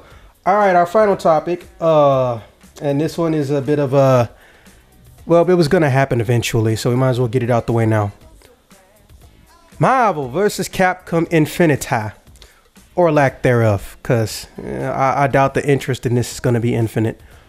Okay, so long story short, sales goals and expectations are not being met to the tune of this is historically the lowest selling game in the entire history of the franchise. That being said, as we all know, data is not kept or collected necessarily by the companies and shown off to the general public. So how they handle uh, how they handle the data, I'm back, is right. just that they don't actually tell people the full sales figures of everything that they sold, both physically and digitally. The only reason people know physical is because that information is logged on an international slash federal level by different and various companies, and then other people who have an unbiased source or interest in this data can just go aggregate it, aka put it all together. But as far as physical sales, MVCI, also Marvel's Capcom 4, is the lowest selling in the franchise's history. That includes X Men, X uh, Marvel superheroes, or X Men Children of the Atom, where it all first started. This is the lowest selling one. In fact, in Japan alone, which isn't considered a major seller for that country, it is believed that they sold less than 10,000 in the first seven days. 10,000 is all they moved. However, Japan's gaming uh, or approach to video gaming recreationally has dramatically altered and changed. And basically, unless you're Nintendo related, uh, you're noticing a drop off or a decline. However, this data, and I will put this on to, you know, save myself from legal bullshit. None of this data includes digital sales figures. Period. None of it. It also doesn't state how many of the units sold are the limited edition $200 version. Okay. Yeah. Which I got for $22. So, basically, my question to you guys is do you think that they can pull a win out of their ass if they eventually, I won't even say inevitably because you never know, eventually include characters people want? Or do you think that they need to heavily market this game and they they're not doing it how they should? Like should this game be on the Capcom Pro Tour and eventually be on TV, which is entirely possible because a lot of people forget and I do mean everyone forgets how much shit Disney owns. Disney owns ESPN. Where does all the fighting game tournament shit show? ESPN. So it's entirely possible that could be an MVC tournament here. Not to mention, Justin Wong recently got signed or put up into some type of deal with uh, Bud Light. It is on some type of Bud Light team. And as we all know, Justin Wong is famous for Marvel vs. Capcom. Or rather, he's famous for being in Marvel vs. Capcom. Okay. and and basic no, I'm still here. And basically, uh, one of the things that I know people forget is that video gaming has multiple profit sources. It's not just you need to sell the game anymore. In fact, it hasn't been that way for almost 30 years. Because, contrary to what people believe and think, Marvel uh, DLC and shit like that, yeah, it kind of sort of started with MMOs, but even before that, on a lesser scale, Nintendo was one of the first people to do all that shit. None of that shit is new. They were alternate versions or upgrade parts to the Nintendo systems that they would put on that didn't come out in any country but Japan, and it had DLC and expansion pack shit on it that we didn't have access to. So, real talk, it's entirely possible that this is the end, at least for M- wow. Hold on. It's entirely possible that this is the end for MVC. Or Disney could just not give a shit as long as they get DLC money. But at the same time, remember, it's not between Marvel and Capcom anymore. It's Marvel, Capcom, Disney. Disney Marvel basically doesn't do shit. Marvel, uh, uh Disney is like daddy, and they're exchanging play dates information. And one of the first things that the movie people got told about three years ago is that we will no longer be pursuing any Marvel, uh, any uh, Fox Marvel characters for any of our projects. Kevin Feige came out and confirmed that uh, earlier this year, but even then, he said he got told a year or about a year and a half ago. However, in the world of the cartoons, that's never been a problem. Wolverine is showing up on uh, new Fox, uh, new Spider-Man shows, and so is Sabretooth. And we all know the goblins and octopus have fucked with mutants and also uh, Spider-Man. It's a completely different ball game, basically. Versus, uh, excuse me, it's a different ball game when you look at things on the small screen side of shit. But we're not looking at it from the small screen side of shit. We're looking at it from the video game side of shit, which is a, which is another different ball game. Basically, soccer, football, and then here comes basketball. So here's the thing. I guess the way I want to phrase the question is one, can Marvel vs. Capcom Infinite be redeemed? And if so, what do they got to do to redeem it? Or get it to pick up? And obviously, besides, or I guess you can already say, get some bit, get some fucking mutants. But besides that, and two, what do you think the chances are of us possibly getting more or better Marvel games on consoles? Because it's kind of hard because everybody and their mama wants to put shit on a cell phone and then a PC version of a cell phone game. Do you think it's possible for us to get any good Marvel games consistently with the way they have to manage their characters based on what plat what format they're in? Also, I just want to point out, yes, I'm aware of the Guardians of the Galaxy story game. And I'm gonna start the question, hand it off to you, Zeno. What do you think about MVC4 and do you think it's redeemable or can it be saved? Yada yada. Um, Marvel versus Capcom. Um, well, my personal favorite is Marvel. Do we have a Xeno? Whoa. Does a Xeno exist? Yeah, he's he's here, but you're the one that's echoing now. You were there, Zeno. It was just he couldn't hear you for some reason. I think it's just your Dude. microphone sounds really low on his audio setup. Oh no, like it, it's his straight up his name like disappeared. Oh, Okay. Um, well, yeah. Continue what you were saying, Zeno. Marvel Two is my favorite. Yeah, I played three and whatnot, just not extensively. And four is is all right. It just seemed like a dumbed down version of uh two or three. Honestly, it feels like well, it from what I was playing, I, you can kind of like just pick up and play it as compared to just you know actually being like legit. Um, but I think characters play a big role because a lot of people were waiting or wanting certain characters they just decide they didn't want to put in. Um, so as far as redeemable, I guess it's a possibility, but they would have they have to really try hard. Um, What would they have to do? um, shoot, I don't know. Maybe well, see, some of the characters don't seem proportional, and then Thank you, Captain like, America's neck full of fucking tumors. How the fuck does he live? Dude, I'm like seriously. Hey, somebody go look up Marvel vs. Capcom Infinite Captain America and Mike Haggar. Dude, Mike Haggar's head doesn't have the ability to sit on top of his body. They made it to where it leans forward like a fucking predator animal or some shit. It's really fucking creepy. Seriously, go go look it up and drop it in the chat. well, yeah. With Yeah. like I, I, I will say, like I, I definitely see some of the complaints that people were making, especially with like Let the him finish. early- Let him finish. Oh, I, I was just gonna say some of the character models need to be done, or I don't know. I like I guess touched on because like some of the capes don't um they don't they just they don't sit on the character like they're like hanging off and whatnot. It's pretty weird too. Thor. Um, I think they need to add more characters that we want.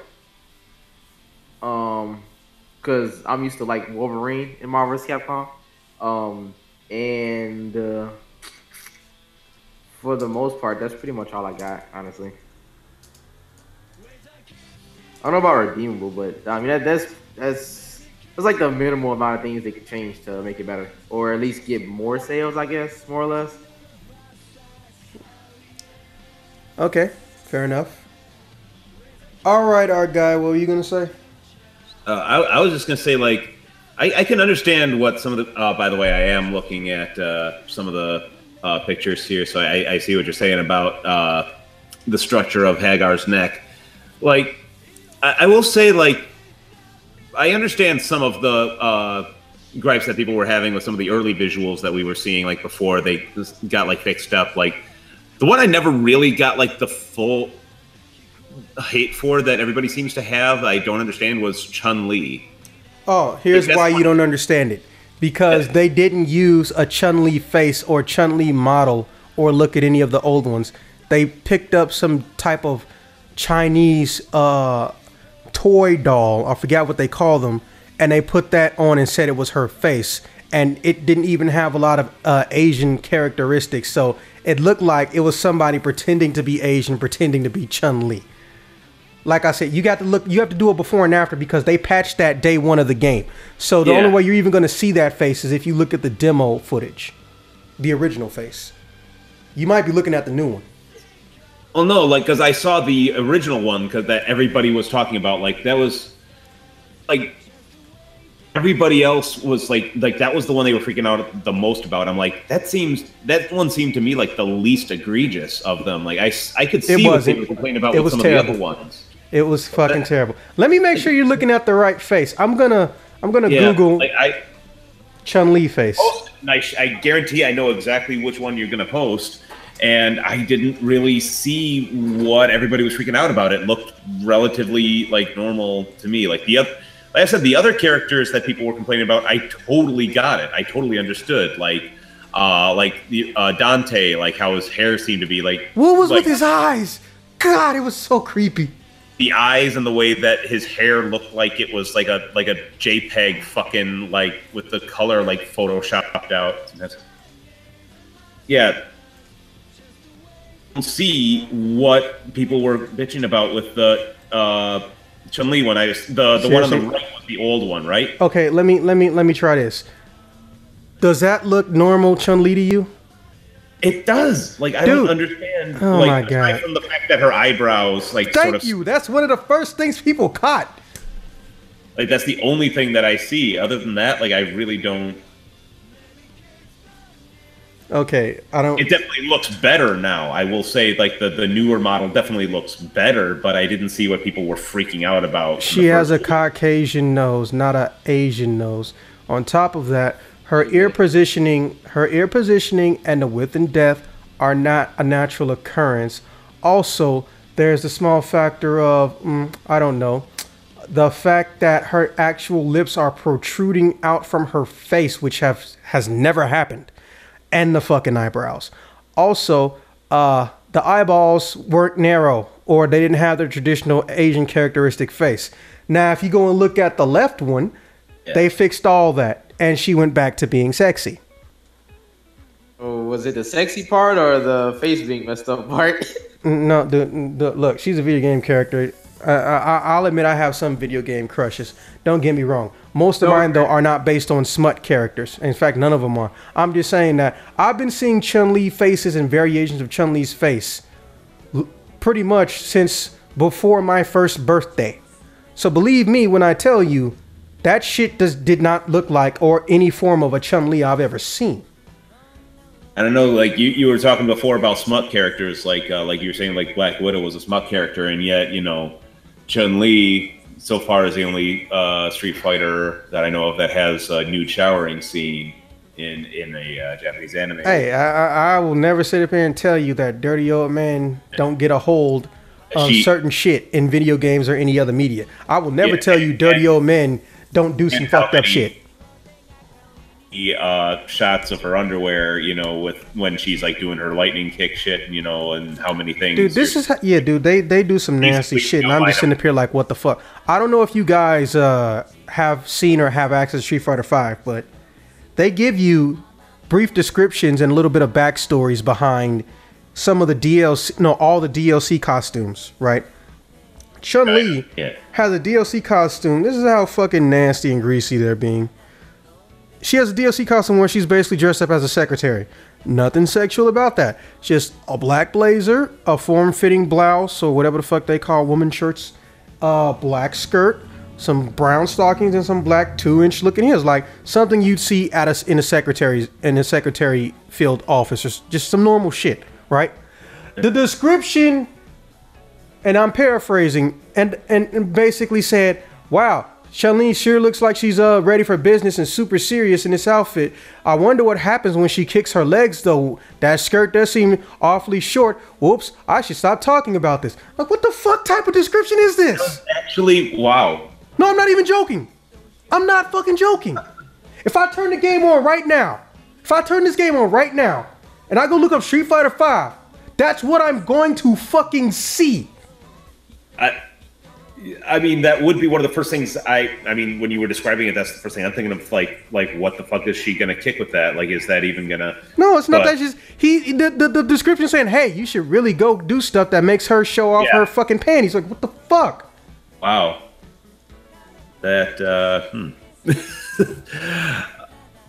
I got nothing. Like uh, that's that's you know. I mean that's you know like I said like I could see like that's the first thing I'm thinking of when when you're describing it to me. But then for them to actually like address it and then like go further, like even even just like addressing it like a quick like tongue in cheek like you know like like how does she kick in that like just that if they just left it at like how does she kick in that or something like that would be one thing but yeah to continue to fucking dig that grave a little bit deeper a little bit deeper a little bit deeper hmm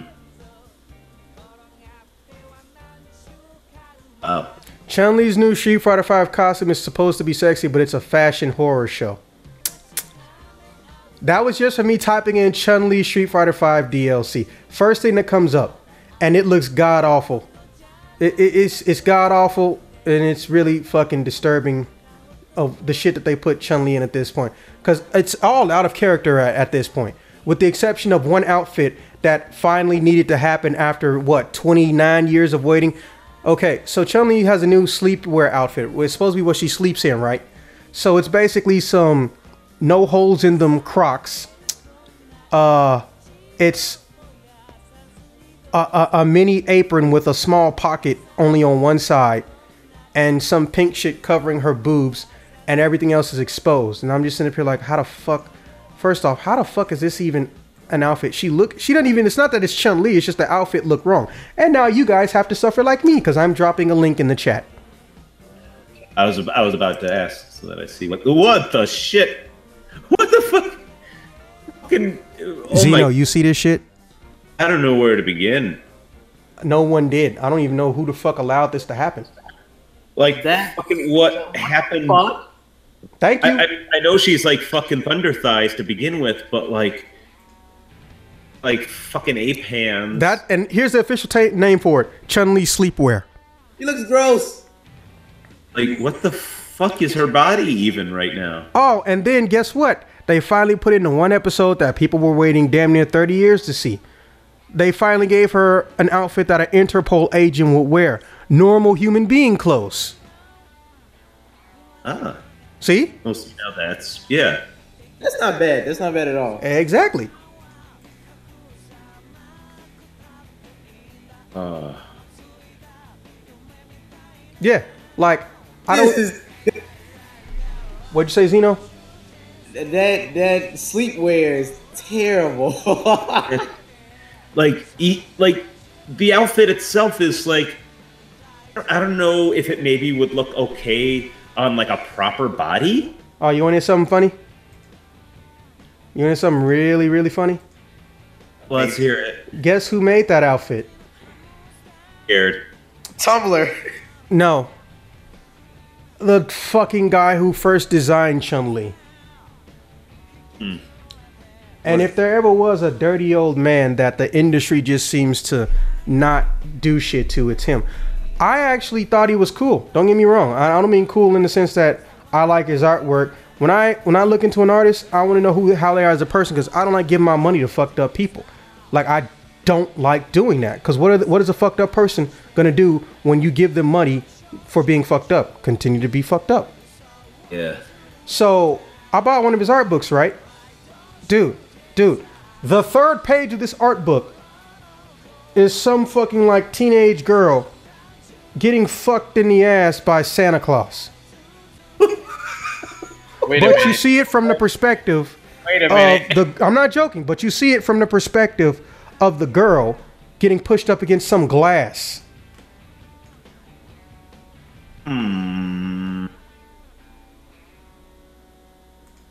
Uh, it, it's okay. We'll wait patiently for the drop. Uh, I'm No, down I'm not with- looking for it Why not? because I don't want to. I'm still trying to figure out where, still on the sleepwear thing, where Chun Li's vagina might possibly begin. It's called the Chun Li sleepwear apron. Like, what, The like fuck? I'm not even trying to be like sexually whatever about it. I'm just like Yeah, it's just really confusing to look at. I, exactly. Like I'm looking at where the lines of the legs go. I'm like, I don't see where those intersect, having anything to do with where I'm seeing the, the strings of the underwear. It just, I, I, I, I don't know. And I know what you were saying about like you know, like me. I I try so hard sometimes to separate the artist mm-hmm. sometimes sometimes that doesn't work unfortunately but like some sometimes i mean and and because sometimes people can like make any number of excuses for somebody to behave a certain way like because it's like oh like i mean that was part of a lot of people's struggles with uh, michael jackson was like like he might have diddled some kids but it's like oh well he, he made thriller like Yeah, that's not an excuse. That's not a fucking excuse. But he made Thriller though. that's, that's, that's that whole episode of Dave Chappelle in a nutshell. Okay, now, okay, this now shared of the secretary outfit. You that- know they weren't they you know, even if they didn't want that to be sexy, it was gonna come out sexy. It doesn't look bad. It actually looks right. It's just I guess I it's know. It's just I was telling you about the description that they had on it. I, I will say I'm not sure why they need just as a secretary like that. I could see a lot of people seeing I think that. they like, meant it as a school teacher possibly, but at the same time I'm not I'm not really sure. Like even as a secretary, like I, I would I could see a lot of people getting up in arms, being like that's like wildly uh, demeaning for somebody, you know, like An Chun Li, who's like a, agent of police all things. officer, exactly a police, an Interpol officer, agent, whatever you want to call it, and oh nope, she's sexy secretary. Like what? Like that's you know sort of reducing her whatever. Not to demean secretaries, but like, God damn it, there's no right way to approach that. Exactly.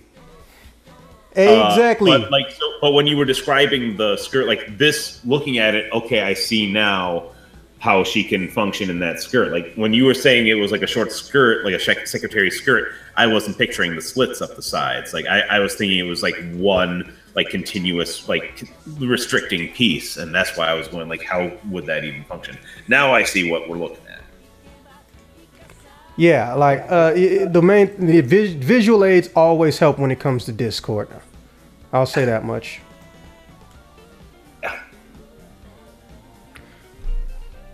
It's- Okay, let's see. with, with right. pretty much anything like that as far as you know costumes for people go it, it there is that fine line between like trying to like keep it modern but also trying to respect the legacy and there, you're always going to have people going like one way or the other there's still people you know who are going to be bummed out that carol danvers you know is first of all like not Ms. Marvel anymore and then now also that she's not wearing the thong on a regular basis um, there's going to be people who are you know Well, at least Marvel addressed it though. So if they're mad, it's just because, you know, I'm sure there are some people who are just fans of wanting their characters to only work and look one way, Superman. But the thing is, is that it was natural for her. It wasn't just something that came up out of nowhere. Her whole reasoning is because of the way her character was designed. She was never even supposed to be anything other than well besides that she wasn't when she became one she wasn't really you know someone who knew what the fuck they were doing. She just luckily got the powers of a motherfucker that she barely even knew that well. And she looked up to him and a lot of people did. So naturally it would make sense for at some point in time she gets an outfit or dons an outfit that you know it pays homage to him Yeah. I will say at first the outfit really irked me, especially the shit they were doing with her hair that was fucking ridiculous. Oh my god, that helmet bullshit. Why is that there? She doesn't need a helmet.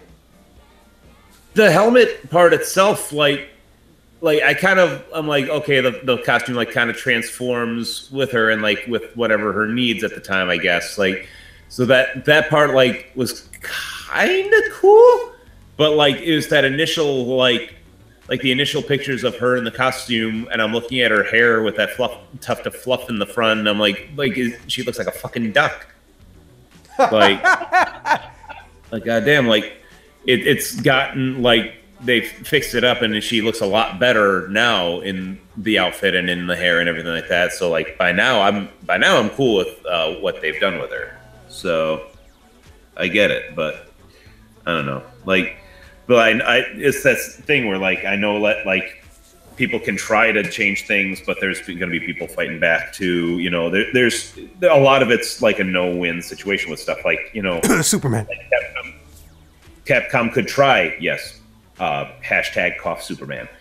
Um, they they like they could try to you know people would be up in arms if they tried to take Cammy out of her uh, her action thong. You know, like even Psylocke now they they gave her an outfit that's close enough to her classic ones, but like but she doesn't have the thong anymore, and there's people who are going to be you know bummed about that. You know, there's people going to be arguing that like oh it's you know because she was a strong empowered like I don't know. Is this something in general that I see a lot? Like, like, like sometimes I see people making excuses for a character behaving, another character behaves the same way, and it's awful and objective. Like, like She-Hulk. Uh, I I had not that long ago gotten into like sort of a uh, a debate about like She-Hulk. Like, I I sort of saw her as being like wildly over sexualized, you know, in some stuff, but then like other, you know, people are saying like that, you know,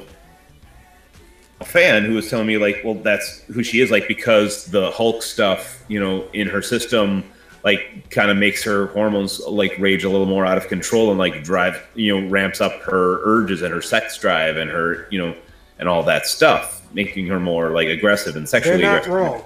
Uh, actually, you're both right. Uh, she didn't think there was an issue with the way she was acting. Not to mention, she was more on the timid side of things.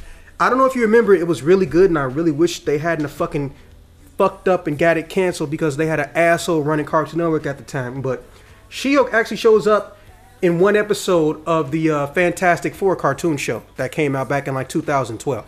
And Oh yeah, World's Greatest Heroes. yeah, dude, Johnny Storm is hitting on her, and she's she doesn't even uh, push him off. She's like, oh, oh no, I'm just, that's uh. She just like she can't be decisive about anything. She can't look him in the straight face and anything, and he's just trying to impress her. And the minute she turns into She-Hulk, completely different personality, Well, completely different. Well, thing thing is though, for me, like I would see this exact same person, like I don't want to go.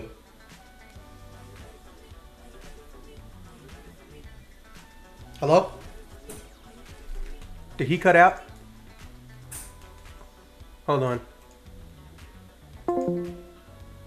Well, no, but that's because there's a reason for that. It's like just because they make a reason for it doesn't necessarily, you know. I understand what you like, mean. If if you if you want like my thing is like I I'm realistic that like you know hey you know sometimes you need a character who's going to be realistic. Not every character in everything needs to be a role model in everything that they exactly. do. Because why are nobody, people pissed about Cartman being a foul-mouthed fucking race uh, racist Jewish hating piece of shit who stereotypes when his job is to be the bad guy? Exactly. That's exactly it. Like I never thought about it and like that. Your whole Like- generation didn't. Yeah, like well, like and and you and I were discussing this recently, Zach. Uh, I did a show uh, a few years back called "The Gospel According to Gary." yeah. Yeah, uh, I, I played the lead villain in that show, and uh, it, was, it was an original musical religious satire, and uh, it, it took, took place during biblical times. And my character basically, the story was like, I hear all these people talking about this guy Jesus, about how he was apparently this wonderful man, helped all these people, performed all these miracles. Ooh, and I learn all these stories about Jesus from uh, Jesus' friends and Jesus' uh, sister Tina, and I start to think, hmm, I could make some bank off of this, and, and it just like shows you what happens when people try to use religion to amass wealth and power, as opposed to actually believing in what they're preaching and like trying to actually help people, and you see some despicable behavior from me and my you know subordinates you know like you just see as the show goes on like every character growing increasingly uncomfortable working with me. And people that i talked to who were like reading it reading the script you know because they were in talks to play something and they're like "I- i'm sorry i can't do this because you know like you know i have strong religious beliefs it's like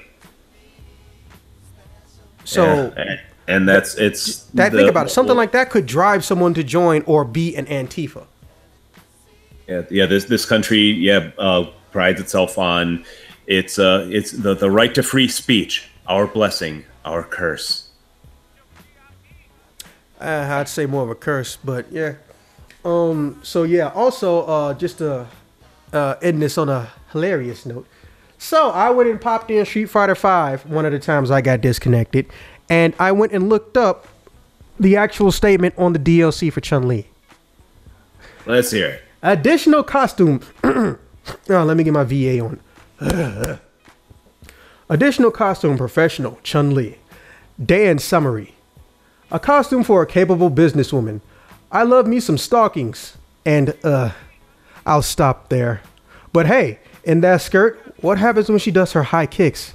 A gentleman never looks. What type of shit is that, Capcom? What type of Uh. shit is that?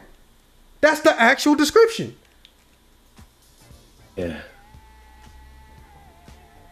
Yeah, I I don't know. Like this, there there are some games or some some things where that a description like that would be you know an appropriate fit. This the, the Marvel vs. Capcom doesn't or Street Fighter rather doesn't like really strike me as that. Yeah, I mean, Disney and Marvel will be all up Capcom's ass if they they smutified their characters. That's their job, goddammit. Trying to see was there another good one? Cause they got a new bunch of new outfits uh yesterday. But of course, you know, the outfits aren't one per character. It's like one it's like five characters, but two of them will have three outfits. Cause you know, they like money. I don't know. Oh, while you're while you're looking that up, uh, that's what I was uh, starting to say before. Um, because with MVC three, like I said, they had that poll, and the, the top three characters by far were Gambit, uh, Venom, and X. With X and Venom being like the top one for each of their respective things. Like I said, Gambit was like a close second for Marvel. Uh, and then when none of them, uh, not any of them, like were in the Ultimate DLC, then or or not DLC, were in the uh, release of Ultimate. Uh, and they never released any further DLC characters aside from Jill and Shuma-Gorath. But they, and yeah, like you have to keep in mind, this was also like when we were in the middle of like three different Mega Man games getting canceled, and then the original one didn't have uh, X. It had Zero and Tron Bonne, but no Mega Man or X. And then the fans like straight up say like X is our most demanded character, and then you put him in as a DLC costume like like yeah like that was another case of you know the fans losing their shit over that and I, I was among them going like what the fuck are you doing capcom like and they're trying to say like oh we couldn't figure out a way to make him work in a fight i'm like dude you're the guys are the fighting fucking masters and even mega man like you can say whatever you know like i personally me i had no problems ever using mega man in any of the marvel capcom games like one and two he was one of my mains my main team in Marvel vs. Capcom was Gambit and Mega Man. In MVC two, it was Gambit, Mega Man, and then alternating between Dhalsim and Venom, and sometimes Juggernaut, but or Wolverine or Akuma. But you know, the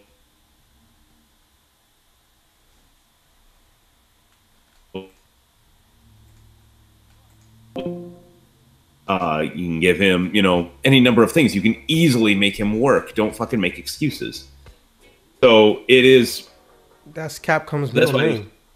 That was why it was sort of refreshing with MVCI, with Infinite, seeing that like in the, the first character you see in the first trailer is X. Yeah, everyone lost their shit. So that was exactly and rightfully so. And and and and I know I was like, holy shit, fucking finally, yes, this is good. I mean, I, I've long since accepted we're not going to see like my personal favorites from from the Mega Man, like uh, like Shadow Man and Pharaoh Man, or or Magnus I don't want fucking Proto Man versus Captain America. Is that too much to ask? What are the chances of two people who love freedom and free will fighting with shields? Non-existent. Yeah, I would. I personally would think that at some point we, like in one of the character endings, we could see Proto Man picking up Captain America's shield or something, you know, just as like a little, you know, Easter egg or whatever. But, but so yeah, so so here in MVCI, we finally we have X and we're going to have Venom.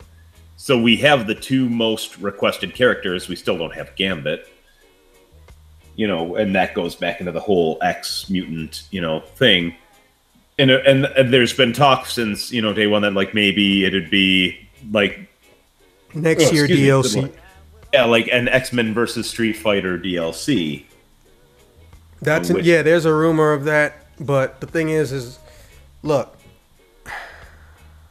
I feel like if they can't get it from Marvel, the best thing they can do is go to Fox if they even need to, or go to Marvel and say, "Can we make an X Men versus Street Fighter 2? or can we just make an X Men Children of the Atom 2? Like, it's not hard. It's not. Remember, what was it? Activision that had Yeah. the Marvel licensing for the middle, uh, the early and uh, middle 2000s. Well, that shit expired, and then they went to the shared licensing system. So realistically, I think they think they won't get any money from an X Men vs Street Fighter 2 or a Children of the Atom 2, even though they fucking will. Yeah, absolutely. And well, hell, I've been wanting to see even X Men Legends three. Yeah, we had uh, Marvel uh, I Ultimate don't Alliance. remember. I don't even two. remember fucking two. Oh yeah, the shit that they based Ultimate Alliance engine on. Yeah, like fuck. Yeah. My only problem with that whole game series was that I, I couldn't do the whole the camera's really stupid far away. I I don't want my games to have the camera that far away. Uh, see, me, I I was the exact opposite. I was trying to get the like camera Diablo. further away, usually, so that I could see more of like what was going on around me. Like you can bring the camera like relatively close. For times where you know, like even as far away as I could get, it was still a little too close where I couldn't like see some stuff. I couldn't see where some of the characters were at, or you know where something was. But uh, the, and the one thing that pissed me off, like as a guy who like especially the first time playing through something like i'm searching like every nook and cranny for every little hidden item you know so like i'm looking to make sure i've covered the whole map and then the fact that in the later games like i had to keep turning the map on in the options every fucking time i load a new map. Game it just stayed on automatically you know because i turned it on and it kept it on. This one every time i would go to a new room or new uh, map or whatever it would fucking turn the the map off or like or minimize it to the corner. I'm like i don't want it i want the fucking big one where i can see very clearly where i'm at you know and i understand not everybody wants that block in their thing. Like me personally like i said like i when i'm playing especially first time playing when i know that there's like hidden shit all over the place or you know like trying to you know find any hidden boxes or, or like hidden collectibles to Uh-huh. unlock a character or whatever like i want to see clearly that like yes i've covered every inch of this thing or like oh there's this one little red batch here. Like let me see if i can get to that you know?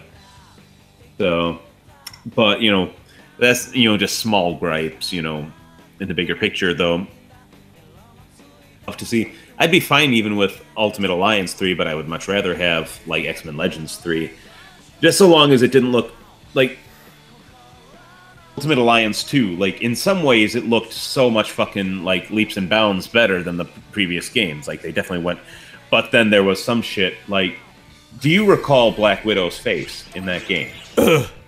Oh my fucking lord, I damn near had a stroke the first time I saw that shit. Like like I I, I actively like like sort of jumped back in my couch and went, "Ah!" like what the f- like holy shit. And said not you know, not every character in every Someone said, "Fuck has it." to be And fucking then the, like no, no, no. I'm gonna tell you exactly what happened. Someone said "fuck it," and then somebody above them saw that model and said "fuck it" too. And then when we saw it, yeah. we said "what the fuck." Yeah. Oh my. Oh, you guys, and they could have fixed.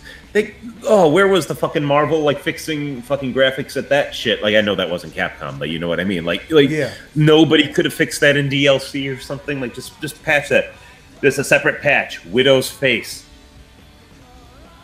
Oh my god. I mean, you like ain't got to do the whole body. You just got to do the thing that people are not looking at. yeah, like oh ye gods, like and like and I'm trying, you know, I'm trying not to be sexist, like like oh every character has to be fucking sexy, blah blah blah. Like no, like that's that was fucking horrendous, and this is a character who's like you know canonically like somewhat sexy, you know. Um, but yeah, like, like it's never even talked on if half these characters objectify themselves. Marvel has openly admitted sometimes they do it, and then sometimes it's the character's personality. Exactly, and and like I said, that's one of those things where the the argument, like for the same character, like I said, the whole thing with She Hulk, like I don't necessarily have an issue with her being, you know, uh, sexually active, but like when you see people aiming another character for being, you know, uh, sexually promiscuous but then it's like, well, She Hulk does this. Well, yeah, but the She Hulk, there's a reason for that. It's like, well, just because you write, somebody can write a reason for why that happens doesn't necessarily mean that they have to do that. That that has to happen.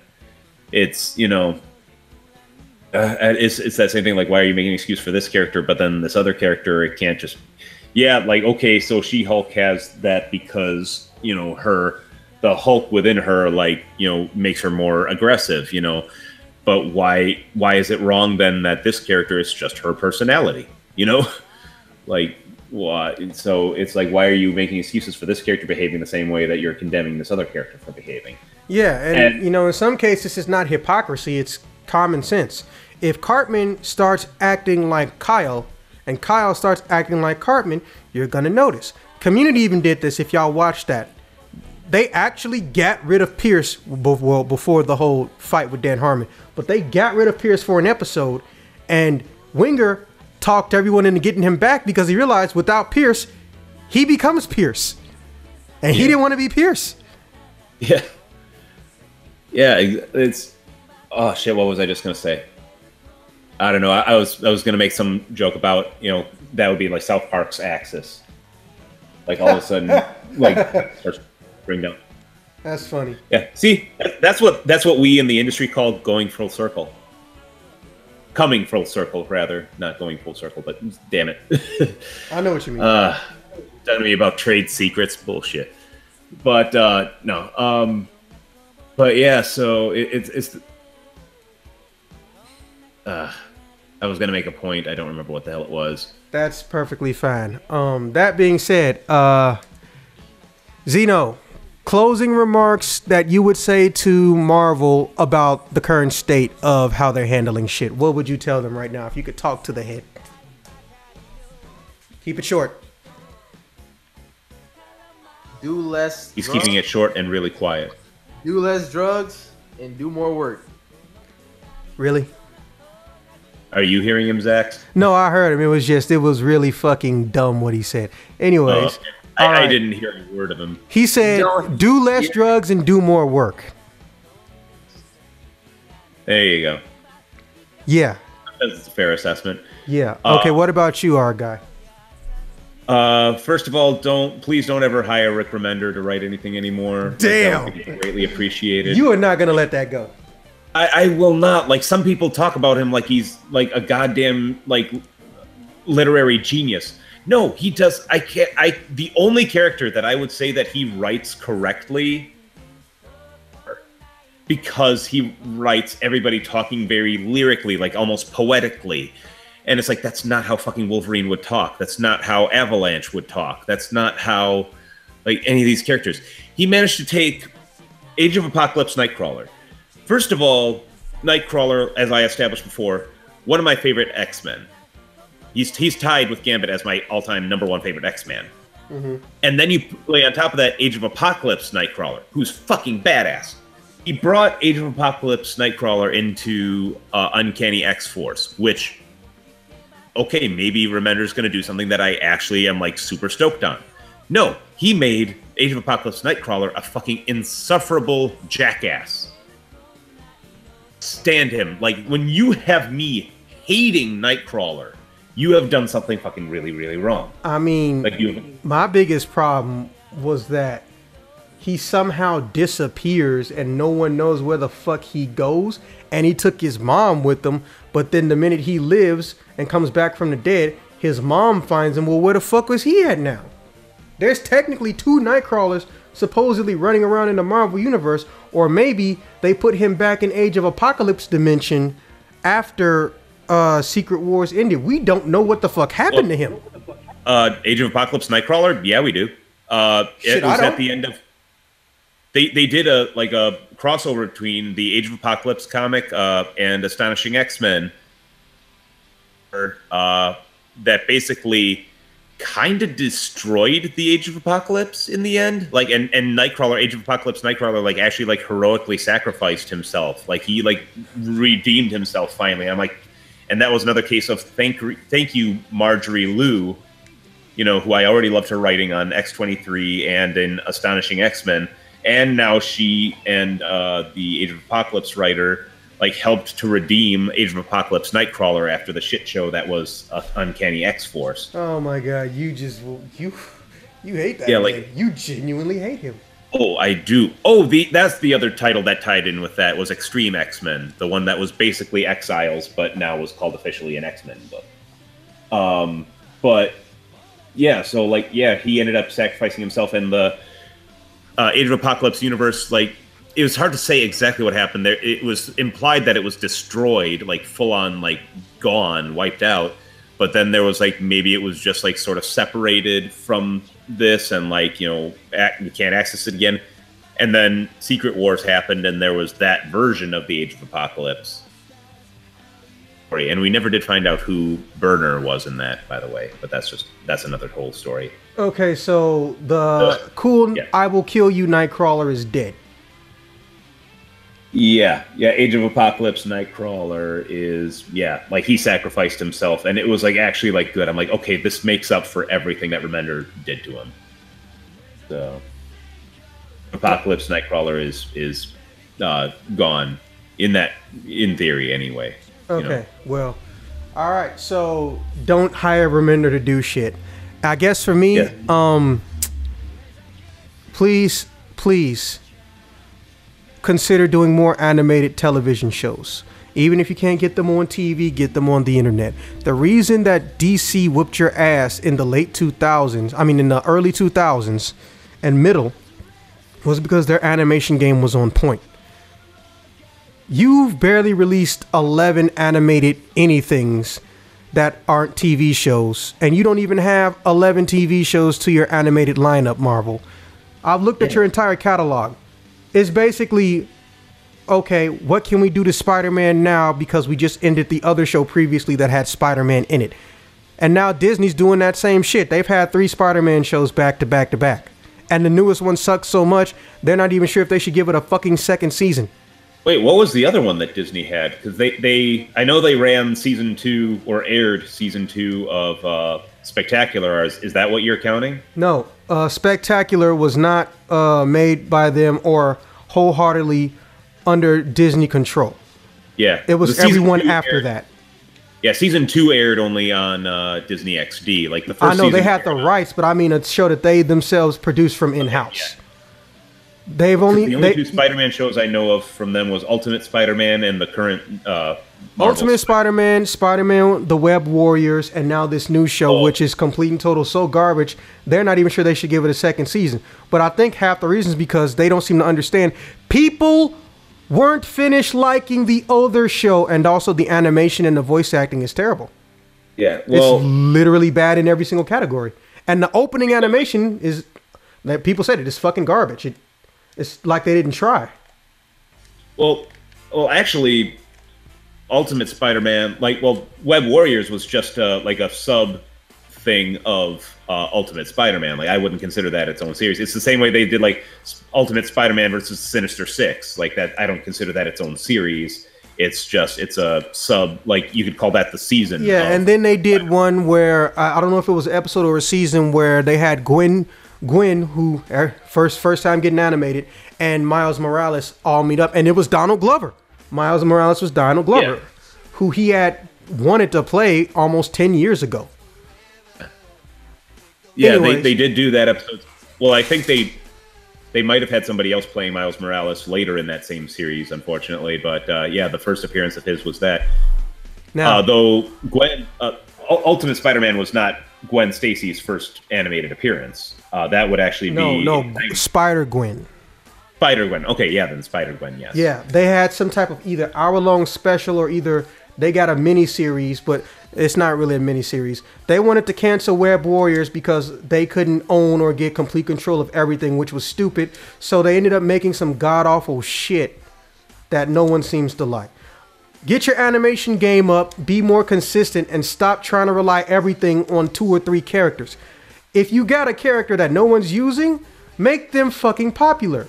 If you make them popular, then you can use more characters besides Spider-Man or Iron Man or Captain America. There's three different no, there's five Avenger shows now. They went from having nothing to five different shows. And every time they make a new show, nothing changes except the animation and they go through the same shit. This new show, they finally included Captain Marvel in her actual Captain Marvel outfit that's like in the movies. And they got the young Miss Marvel. They got the Indian girl. That's like the only difference. Every other character in, is even voiced by the same person. She, she's Muslim, not Indian, but yeah. Oh. Really? Uh, I thought she was Indian. Nope, she's Muslim. Okay. A huge part of her character, and Yeah, it's one of the reasons that her book did so well. I'm not even gonna lie. Anyways, all You right. think though, that, like, I I will say you- you're talking about garbage series. I would say that out- personally about Ultimate, but that was also partly because you know, of Spectacular, which was a fucking amazing show. Like that was straight up like no exaggeration. Oh, Spectacular Spider-Man is my favorite iteration of Spider-Man. Yeah. I understand if you got to cut me off here. no, Uh, I, I don't have I- to cut you off, but I said in closing, but I don't think you were closing. Yeah, exactly. Yeah, I I understand. Because Yeah, no matter sorry. what happens, I still got to go edit it. But I was gonna tell you, um, For you to remind me, man. It's that fine. uh, that video link. Well, I do it for everybody, so don't feel bad. It's an everybody thing. Some people don't realize that when I ask a question, there's usually a 15 minute limit. For as long as you've gone on, when you do go on, it usually doesn't go over 15 minutes at a time. But um, that link I sent you is the story mode to Marvel vs. Capcom, but it's Mystery Space 3000 style. With me, yeah, with me and Zeno, and we sat down and noticed how many fucking plot holes there were. And this is his first time seeing the shit. So get yourself some popcorn or something. It's not the full story mode. It's like the first 30, 35 minutes. Pretty sure you're going to enjoy it. It's good for a laugh. Okay. With that being said, I got to do a lot of editing, but this has been another exciting episode of Token Games Podcast. It's Marvel Talk. I will see you guys when I see you guys.